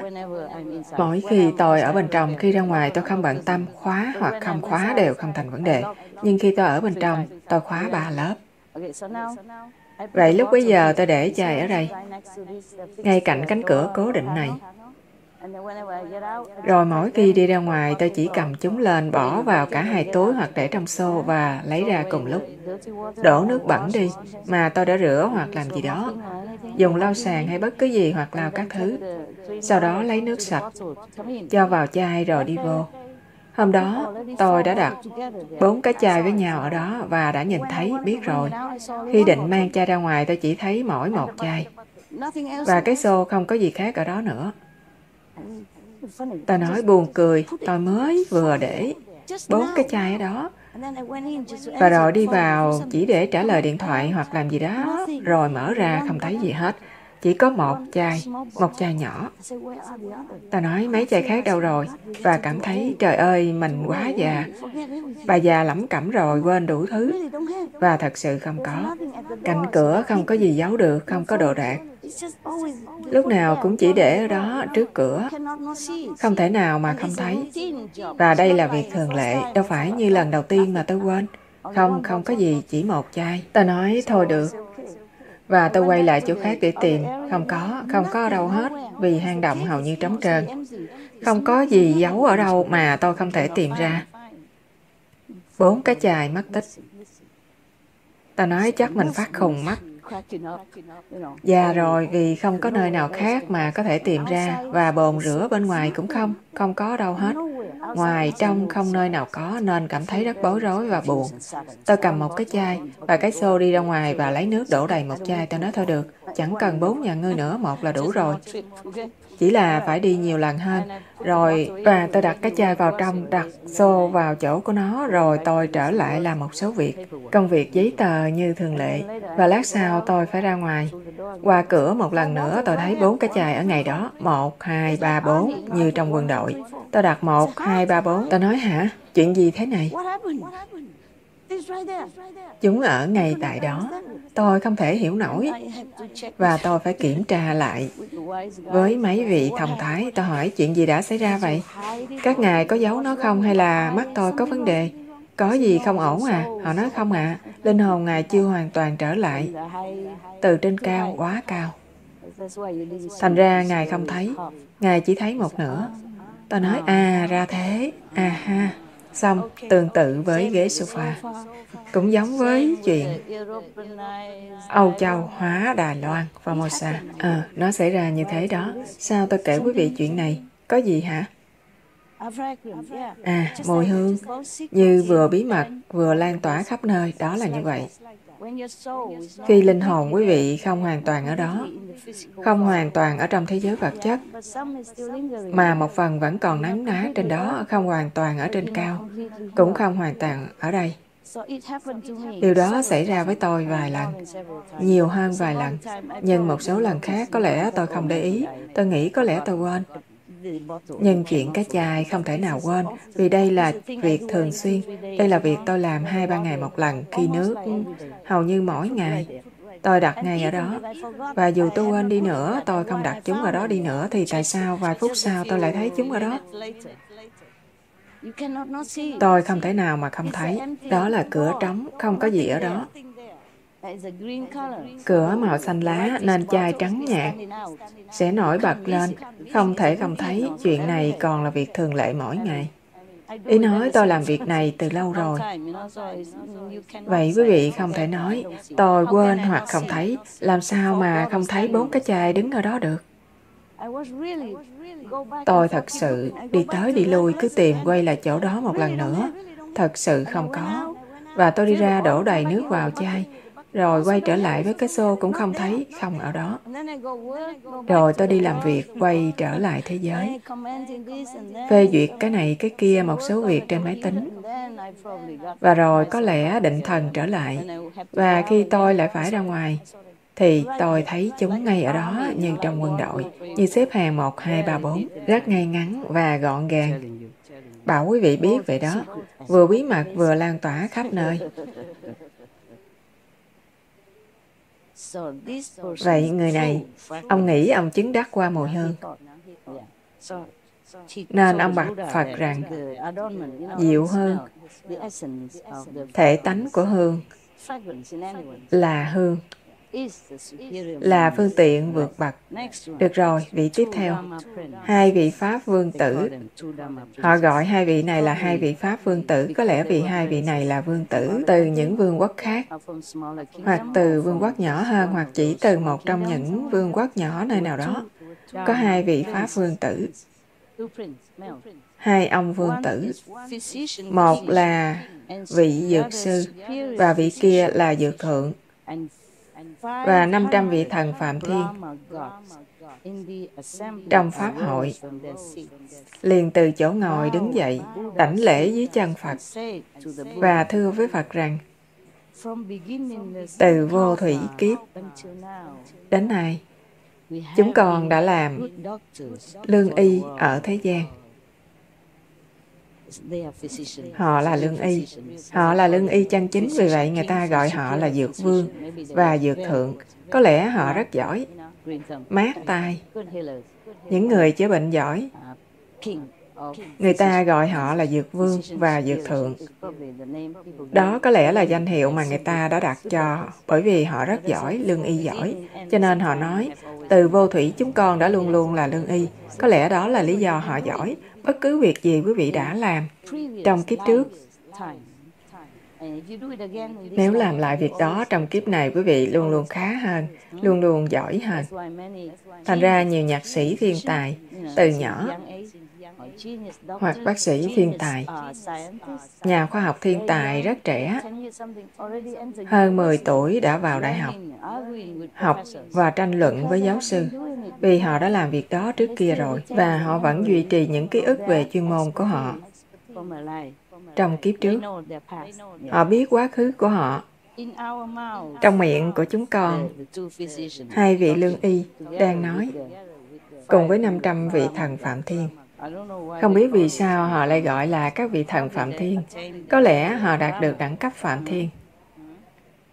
Hoặc có lẽ họ thật sự là các vị thần Phạm Thiên từ cõi trời Phạm Thiên hạ trần và các vị tỳ kheo khác. Lúc đó có thể thấy, Đức Phật có thể thấy, nhưng có lẽ những người tại gia không thấy. Chúng ta sẽ xem thế nào nhé. Ta đọc kinh này cũng lâu lắm rồi nên quên. Tôi chỉ kiểm tra sơ qua trước khi đọc cho quý vị nghe. Ý nói mấy bữa trước. Bởi vì tôi phải đọc qua trước, xem có tốt cho quý vị hay không. Như vậy, tôi cũng nhớ mình hiểu chuyện này như thế nào, rồi có thể giải thích cho quý vị. Vậy nên là việc gấp đôi. Dĩ nhiên khi tôi đọc thì nhanh hơn. Lúc đó, tôi không có lịch với quý vị, nhưng trước mặt quý vị, lịch bỗng nhiên tự xuất hiện. Quý vị truyền cảm hứng cho tôi. Tôi không cần mấy giải thích này. Tôi chỉ tự động hiểu thôi, không cần giải thích, trực tiếp và đơn giản. Vậy hai vị Pháp vương tử này từ vô thủy kiếp đến nay nghĩa là vô số kiếp, đời đời kiếp kiếp. Họ đã là lương y. Thành ra bây giờ họ giỏi, cho nên họ được ban cho các danh hiệu này là Dược Vương và Dược Thượng. Các bệnh nhân đã đặt tên họ vậy và họ đã trở nên nổi tiếng bởi danh hiệu đó. Nên trong Pháp hội, người ta cũng gọi họ bằng danh hiệu đó. Đó là tại sao tên của chúng ta, nhiều tên trên thế giới bắt đầu.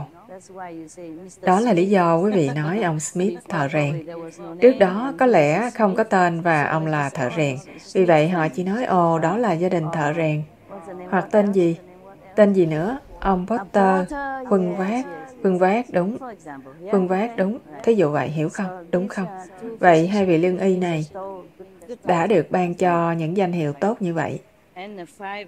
và 500 vị thần Phạm Thiên. Không chính xác là 500. Quý vị biết rồi, phải không? Ở Ấn Độ thời đó, hoặc 500 hoặc 2.000, hoặc 84.000 hoặc 84 hoặc 18. Chỉ là những con số phỏng chừng. Khi nhiều quá họ nói đó là 500 nên quý vị nghe rất nhiều lần. Trong những truyện Phật giáo mà tôi kể, 500 này, 500 nọ, ngay cả 500 tên cướp, nhớ không? Ngài Krishna có 500 cô gái chăn bò. Và Đức Phật có 500 thê thiếp. Ngài không có 500 thê thiếp đâu. Ngài sẽ làm gì? Ngài sẽ làm gì với 500 thê thiếp, năm phụ nữ mà quý vị còn không quản lý nổi? Dù quý vị mạnh mẽ đến đâu. Thái tử đáng thương, Phật đáng thương nếu Ngài thật sự có 500. Tưởng tượng coi, chỉ 5 người và họ cãi nhau ganh đua và tranh giành sự chú ý. Ganh đua, cãi cọ. Làm sao đàn ông nào mà sống trong hoàn cảnh như vậy được? Trong loại từ trường này được. Tôi khuyên quý vị, đừng bao giờ ước làm vua nào hết. Đừng nhé. Đừng nên, chỉ đừng ước thấy hay nhưng không hay ho gì. hoặc ngay cả tổng thống ngày nay. thành ra họ không bỏ phiếu bầu một tổng thống mãi mãi. 4 năm 5 năm thôi. rất khôn ngoan. Quá nhiều công việc tôi sẽ không muốn. Quý vị thấy đó ngay cả trong số đồng tu xuất gia tôi vẫn muốn ở một mình thậm chí với quý vị những người tốt nhất trên thế giới như vậy rồi.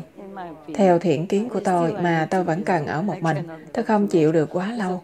Tôi đi ra cũng được thỉnh thoảng gặp quý vị khi sắp xếp được thời gian cho quý vị. nhưng không cần dọn dẹp nhà tôi không gì hết. Tôi sống trong hang động rất thoải mái Trông không tuyệt hảo và sạch sẽ nên tôi không phải lúc nào cũng giữ nó hoàn hảo và sạch sẽ. Hang động rất dễ chịu giống như kiểu nhà bùn. Bên trong là bùn. Không phải là bùn ướt mà tựa như khô. Vậy lo dọn dẹp mỗi ngày làm chi? Bụi bặm, dù sao đó là bụi rồi. Rất tiện, tôi thích hang động. Rất phù hợp với lối sống bận rộn của tôi. Không phải tôi bám vào nó, tôi chỉ mừng là tìm được nó. Nếu tôi không có nó, nếu phải sống trong nhà thì tôi sẽ sống. Và tôi sẽ hành xử cho phù hợp, nhưng tôi mừng là không phải quan tâm nhiều về phủi bụi, đánh bóng đồ đạc, lau tường, phòng tắm. Không lo gì hết, không. Họ làm cho tôi một phòng tắm kiểu xây cất tạm thời, bằng nhựa, hoặc có lẽ bằng kim loại có sơn lên nó. Tôi không biết. Sau khi tắm, tôi chỉ dùng nước nóng để vẩy nước khắp nơi. Tôi xịt một ít nước giấm hoặc chút xà phòng. Rồi tôi xịt nước nóng bởi vì phòng tắm rất nhỏ, chỉ đủ cho một người dùng. Tôi cũng xịt bồn vệ sinh, rồi rửa sạch bằng nước sôi. Biết nước sôi chứ, đã có sẵn trong phòng tắm. Sạch sẽ, tuyệt hảo. Không cần làm nhiều việc. Thật sự nếu phải làm thêm việc tôi không nghĩ là tôi có thể ngồi đây. Chúng ta chỉ có 24 giờ. Tôi cũng không trẻ hơn được nữa.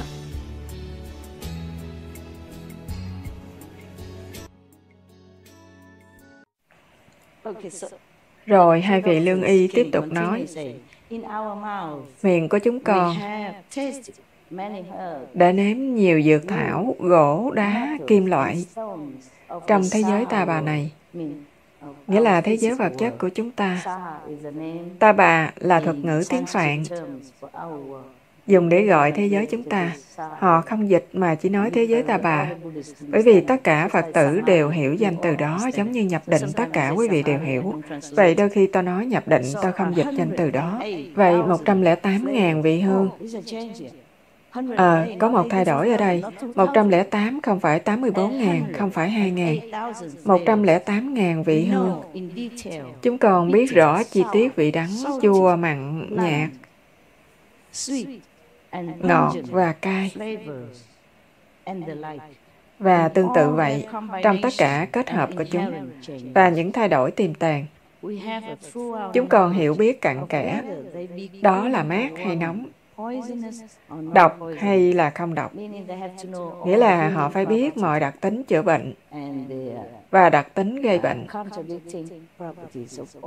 của tất cả các loại dược thảo, gỗ hay đá, bất cứ loại nào mà họ dùng và kết hợp để chữa trị cho người. Đây thật sự là đôi nét.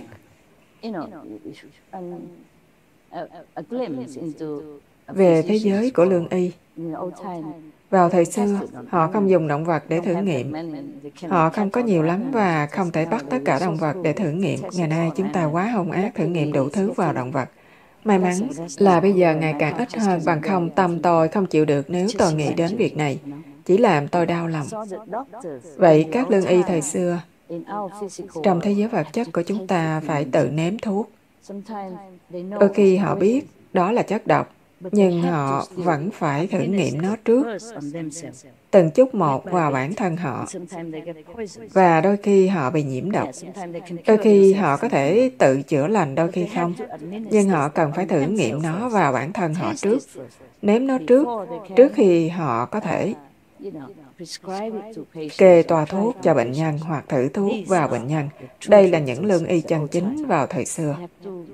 Họ phải đi thu hoạch dược thảo, chọn đá, loại đá có đặc tính khoáng chất, đặc tính chữa lành, và gỗ, những thứ cần thiết. Họ phải tự làm mọi việc hoặc có lẽ chỉ có vài phụ tá. Nếu là lương y nổi tiếng hơn, có lẽ họ có nhiều học trò hơn và học trò cũng giúp họ, nhưng không giúp như ngày nay, không dễ vậy. Họ cần phải nếm mọi thứ để xem thuốc đó có chữa lành cho họ hay không. Trước tiên họ bỏ chất độc hoặc gì đó khiến cho bệnh nhân bị bệnh, rồi họ sẽ thử thuốc xem cần bao nhiêu để chữa lành họ. Họ nghĩ thuốc này có thể chữa lành nhưng họ cũng không chắc chắn. Họ là lương y, là người bằng xương bằng thịt. Họ không như là thần thánh hay gì hết. Vậy họ phải thử thuốc. Thử thuốc cho đến khi họ tự chữa lành họ. Trước tiên họ phải bị bệnh hoặc bị nhiễm độc, rồi mới chữa lành bản thân họ. Đôi khi họ dùng quá liều bởi vì họ không biết bao nhiêu cân lượng. Đôi khi lầm lẫn, và có lẽ họ sẽ chết hoặc bị bệnh trầm trọng. Đây là số mệnh thật sự của lương y. Ngày nay chúng ta không biết quý trọng tất cả các bác sĩ, nhưng họ cũng làm việc rất vất vả. Họ giao tiếp với người bệnh, bệnh nhân truyền nhiễm, ngày này qua ngày khác. Đôi khi chính họ bị nhiễm bệnh. Cho nên hai vị Pháp Vương tiếp tục nói, giữa lúc phụng sự Như Lai, chúng con thấu hiểu rằng bản chất của hương vị chẳng phải không, chẳng phải có. Không phải chính là thân tâm, cũng không phải tách rời thân tâm. Chúng con được khai ngộ do phân biệt được hương vị.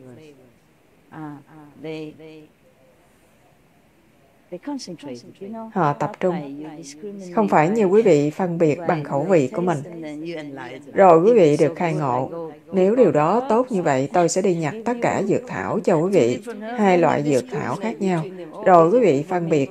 Ồ, đây là bạc hà, đây là húng quế. Và quý vị sẽ đạt khai ngộ. Không phải như thế.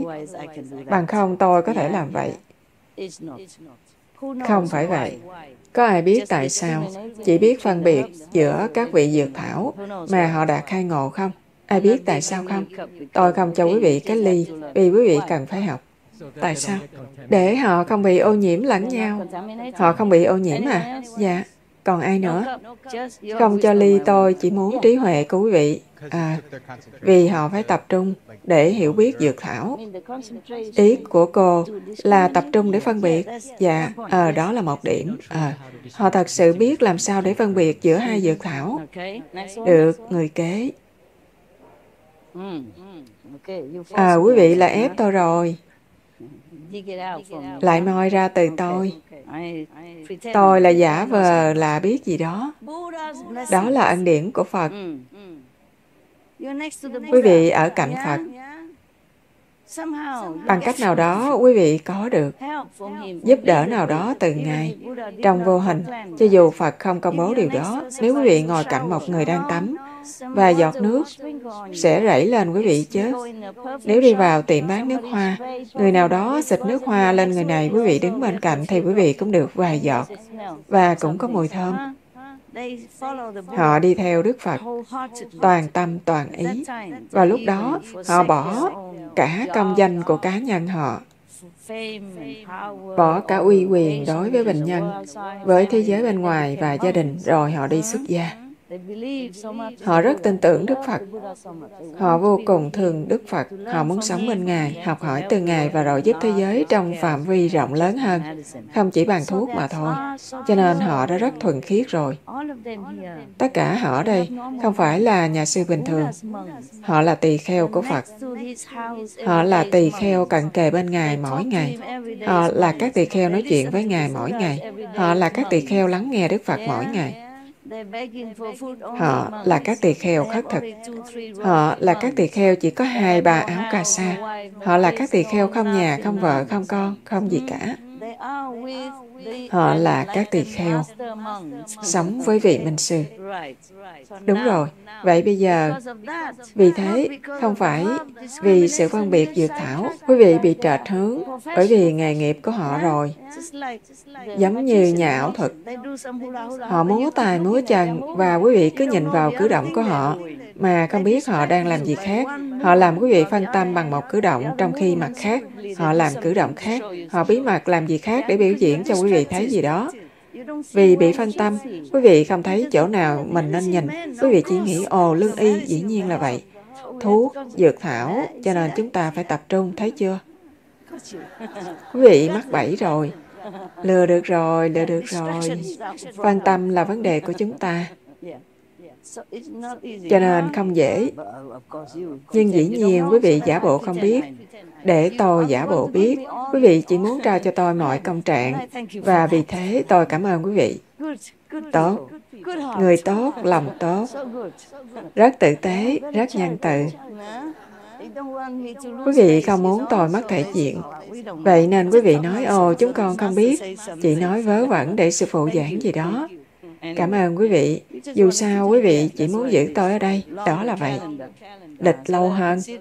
Để tôi có thể ngồi ở đây luôn luôn, làm hậu pháp bảo mẫu cho quý vị. Vậy quý vị thấy chưa? Được rồi.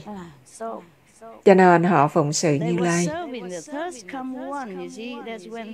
Đó là lúc họ biết vị thuốc chẳng phải không, chẳng phải có, không này, không nọ, không kia. Họ phụng sự Như Lai lúc đó. Dân thuốc cho Ngài hoặc có lẽ khám bệnh. Có gì khỏe không? Có lẽ chỉ là khám tổng thể hoặc có lẽ Đức Phật lúc đó bị đau, hoặc bị chút cảm lạnh hay bị gì đó và họ đang phục vụ cho Ngài. Hãy biết điều đó. Không phải bình thường, như họ chỉ ngồi ở đó và ngửi dược thảo. Rồi, ồ, đạt khai ngộ. Chà, quá rẻ vậy sao? Không đâu, họ đã sống với Đức Phật và thậm chí phụng sự Ngài. Có nghĩa là chăm sóc Ngài, thể chất cá nhân, gần gũi. Có lẽ chạm vào đây, chạm vào đó. Và cùng lúc có thể được ngây ngất bởi ân điển của Đức Phật. Trong khi ấy, trong khi nửa chừng, bàn tay vẫn còn chạm hoặc đang chế thuốc, nhưng linh hồn đã đi lên. Chính vì thế hiện lộ khắp nơi và bí mật cùng một lúc như tôi chỉ thấy một chai và không thấy bốn chai kia. Thật sự là thể nghiệm cá nhân. Làm sao lại không thể thấy? Nếu thấy một chai thì phải thấy bốn chai kia chứ bởi vì chúng đứng chung với nhau. Và nếu tôi không để nó đó, tại sao khi quay lại chúng ở đó? Tương tự với ghế sofa hoặc Đài Loan Formosa trở thành châu Âu. Tôi gọi ba người đồng tu chúng ta, tất cả họ biết chuyện đó. Tôi ở châu Âu, vẫn còn ở châu Âu à? Dạ không, thưa sư phụ, Ngài đang ở Đài Loan Phong Sa, Tây Hồ, thưa sư phụ, Tây Hồ. Ba người xác nhận với tôi, và từ từ nó biến mất, và sau đó tôi nhận ra chốn cũ lần nữa, đúng y Tây Hồ. Nhưng trước đó, Tôi không thấy giống. Lúc đó tôi làm việc trong văn phòng. Không phải như ngồi thiền. Không có gì làm mơ mộng về Âu Châu. Hoặc hồi tưởng về Âu Châu, nhớ Âu Châu. Hoài niệm về nó, không phải. Tôi bận làm việc tại bàn. Và nhìn ra cửa sổ tôi nói hả, đang ở đâu đây? Giống như Âu Châu, không phải Tây Hồ mà tôi biết. Tôi biết chỗ của mình chứ. Đã ở Tây Hồ bao nhiêu năm làm sao không thể nhận ra. Văn phòng riêng của tôi và chỗ của mình bên ngoài cũng những cây đó, cũng xanh đó. Cho dù quý vị thay cây cũng không có gì thay đổi. Có lẽ bây giờ cây mọc lớn hơn so với 10 năm trước, nhưng vẫn cùng môi trường. Tôi vẫn đi ra đi vô mỗi ngày. Qua nhiều năm rồi làm sao không biết được. Bây giờ quý vị biết rồi ha. Cho nên vì chuyện đó tôi... Bằng không tôi sẽ không hiểu ý của họ ở đây trong kinh. Tại sao bí mật và hiển lộ khắp nơi cùng một lúc? Đó là như vậy đấy. Thật sự, những gì viết ở đây là sự thật, không phải chuyện thần tiên. Không đâu, rất đơn giản, hợp lý. Quý vị có thể ở trong hai thế giới cùng một lúc trong nhiều cảnh giới và trần gian cùng một lúc và chắc chắn là vậy. Vì vậy, hai vị đó phụng sự Như Lai. Họ khám bệnh cho Đức Phật, bóp thuốc hoặc kiểm tra sức khỏe của Ngài. Và dĩ nhiên, quý vị quá gần Đức Phật như thế, quý vị sẽ được gì?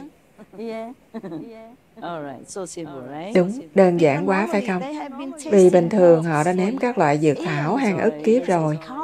Họ nói ức kiếp rồi, nghĩa là hàng ngàn, hàng triệu năm.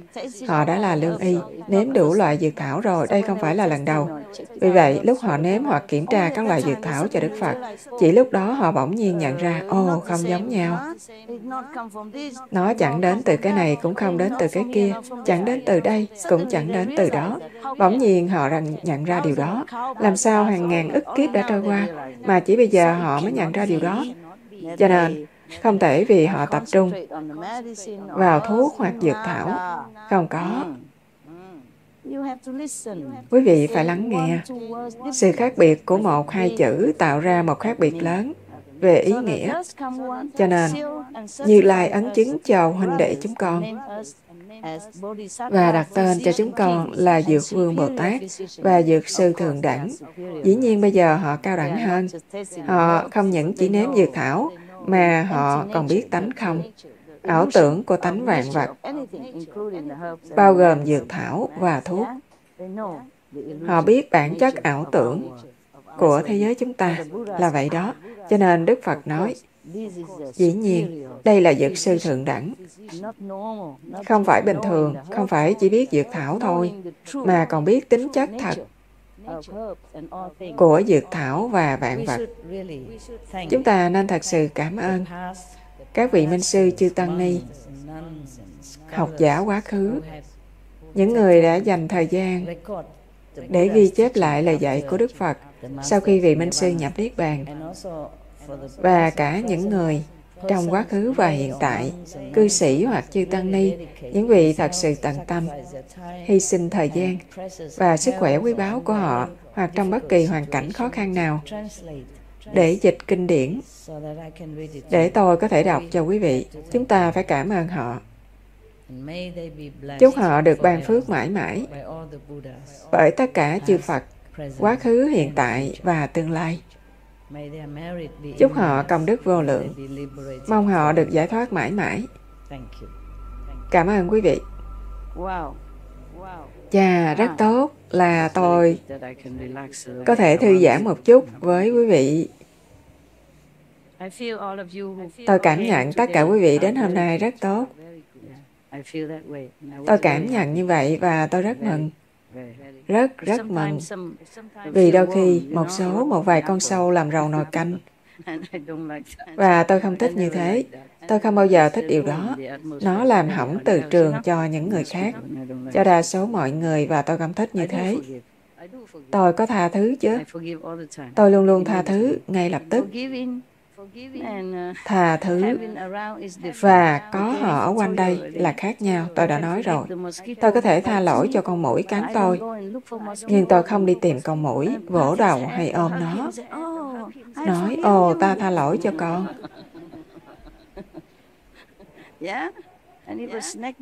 Và nếu bị rắn cắn, quý vị chạy mau để gặp bác sĩ. Đừng ở đây và vuốt ve nó. Ồ, rắn à, con có sao không? Con cũng có Phật tánh, ta tha lỗi cho con.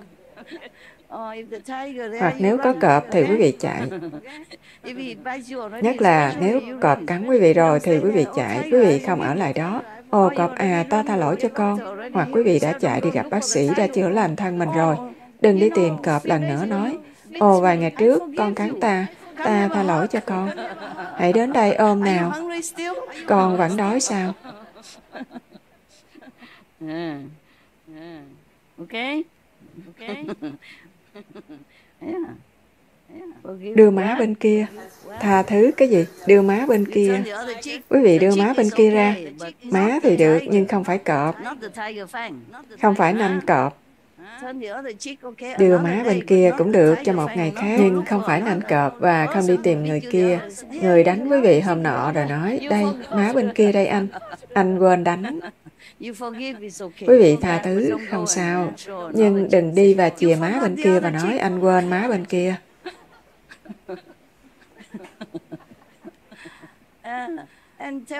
Và nói với anh, anh biết không, Chúa Giêsu nói nếu đánh ta một lần, tát má bên này, ta phải đưa má bên kia ra, đây, đây, má đây. Tôi là tín đồ của Chúa Giêsu Kitô, tát tôi đi, tát má bên kia đi. Quý vị phải có lòng từ bi và trí huệ cả hai, không chỉ có lòng từ bi thôi. Trí huệ cũng quan trọng. Tôi đã kể nhiều chuyện rồi.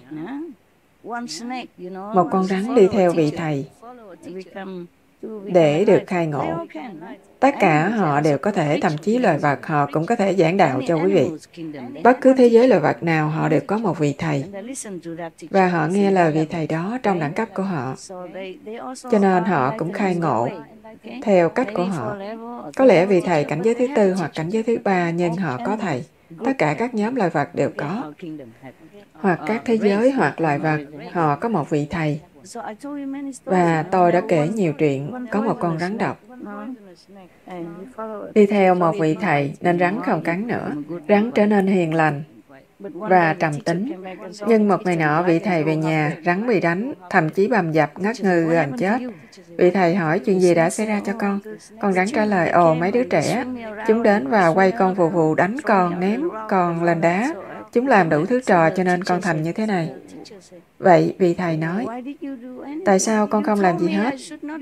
Thầy bảo con không nên bạo động, con không nên cắn. Thì vị thầy nói, ta bảo con đừng cắn, chứ ta đâu có nói con đừng khe dọa.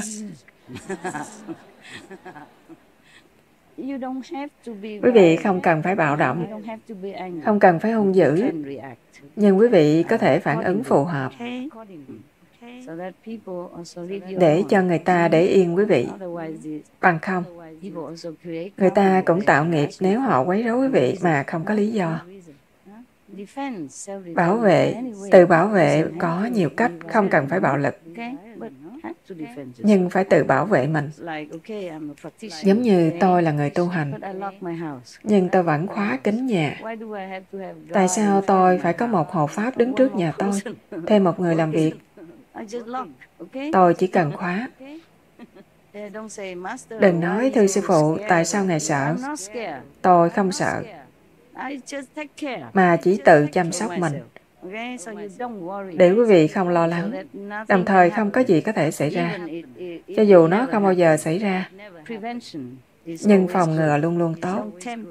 Đừng cám dỗ con người đừng để tiền của quý vị khắp nơi. Và nói với mọi người tiền đang rơi khắp nhà tôi. Tôi biết quý vị thành thật tôi không bận tâm. Làm sao quý vị biết được? Tại sao lại cám dỗ người ta? Ngoài ra, tương tự với quần áo, thành ra quý vị nên mặc quần áo chỉnh tề hơn. Quần không nên quá chặt, rồi vô đây và bày ra mọi thứ mà mình có. Họ không đến đây để nhìn những gì quý vị có. Hãy ráng ăn mặc quần áo đàng hoàng hơn. Có lẽ mua một số áo choàng ngắn khi quý vị đến đây quần áo rộng thì thiền thoải mái hơn. Tôi biết quý vị đã quen mặc đồ bó ở nhà. Dễ dàng, thuận tiện để làm việc ở nhà. Tôi biết điều đó mua vài cái áo choàng ngắn như che đến đầu gối hay đại khái vậy. Rộng, không chặt, thoáng, dễ thiền, mát, không ra mồ hôi. Không phải bắt buộc, chỉ là một lời khuyên. Như vậy tốt hơn cho quý vị. Ngày nay, nhiều phụ nữ mặc quần áo quá nghèo nàn. Không phải họ không có tiền. Họ chỉ mặc nghèo như thế. Nếu muốn mọi người tôn trọng thì hãy tự tôn trọng mình trước. Nếu muốn mọi người giống như không đụng vào mình thì phòng ngừa. Vì đôi khi tôi thấy một số cô gái trẻ, họ không hiểu nhiều, họ thích mặc thời trang. Họ mặc quần áo gần giống như không có gì. Và vào mùa đông, tới trên đây, tất cả tự do mở cửa, xuống dưới đây. Gần như từ hông xuống dưới, cũng tự do luôn. Rất tốt, có tự do rất tốt. Nhưng tự do cũng có nghĩa là có trách nhiệm. Hãy chăm sóc bản thân mình để được an toàn. Có lẽ như thế là đẹp theo ý kiến của quý vị, nhưng có lẽ đó cũng có ý nghĩa khác đối với đàn ông, hoặc ngay cả với phụ nữ khác. Phụ nữ không phải đều là phụ nữ. Cũng như đàn ông không phải đều là đàn ông. Không phải lỗi họ, chỉ là nghiệp của họ như vậy. Nghiệp của họ. Họ đã sinh ra như vậy, họ đã được lập trình như vậy. Thôi, tôi nghĩ chúng ta nên đi. Cảm ơn sư phụ. Tôi đi đây.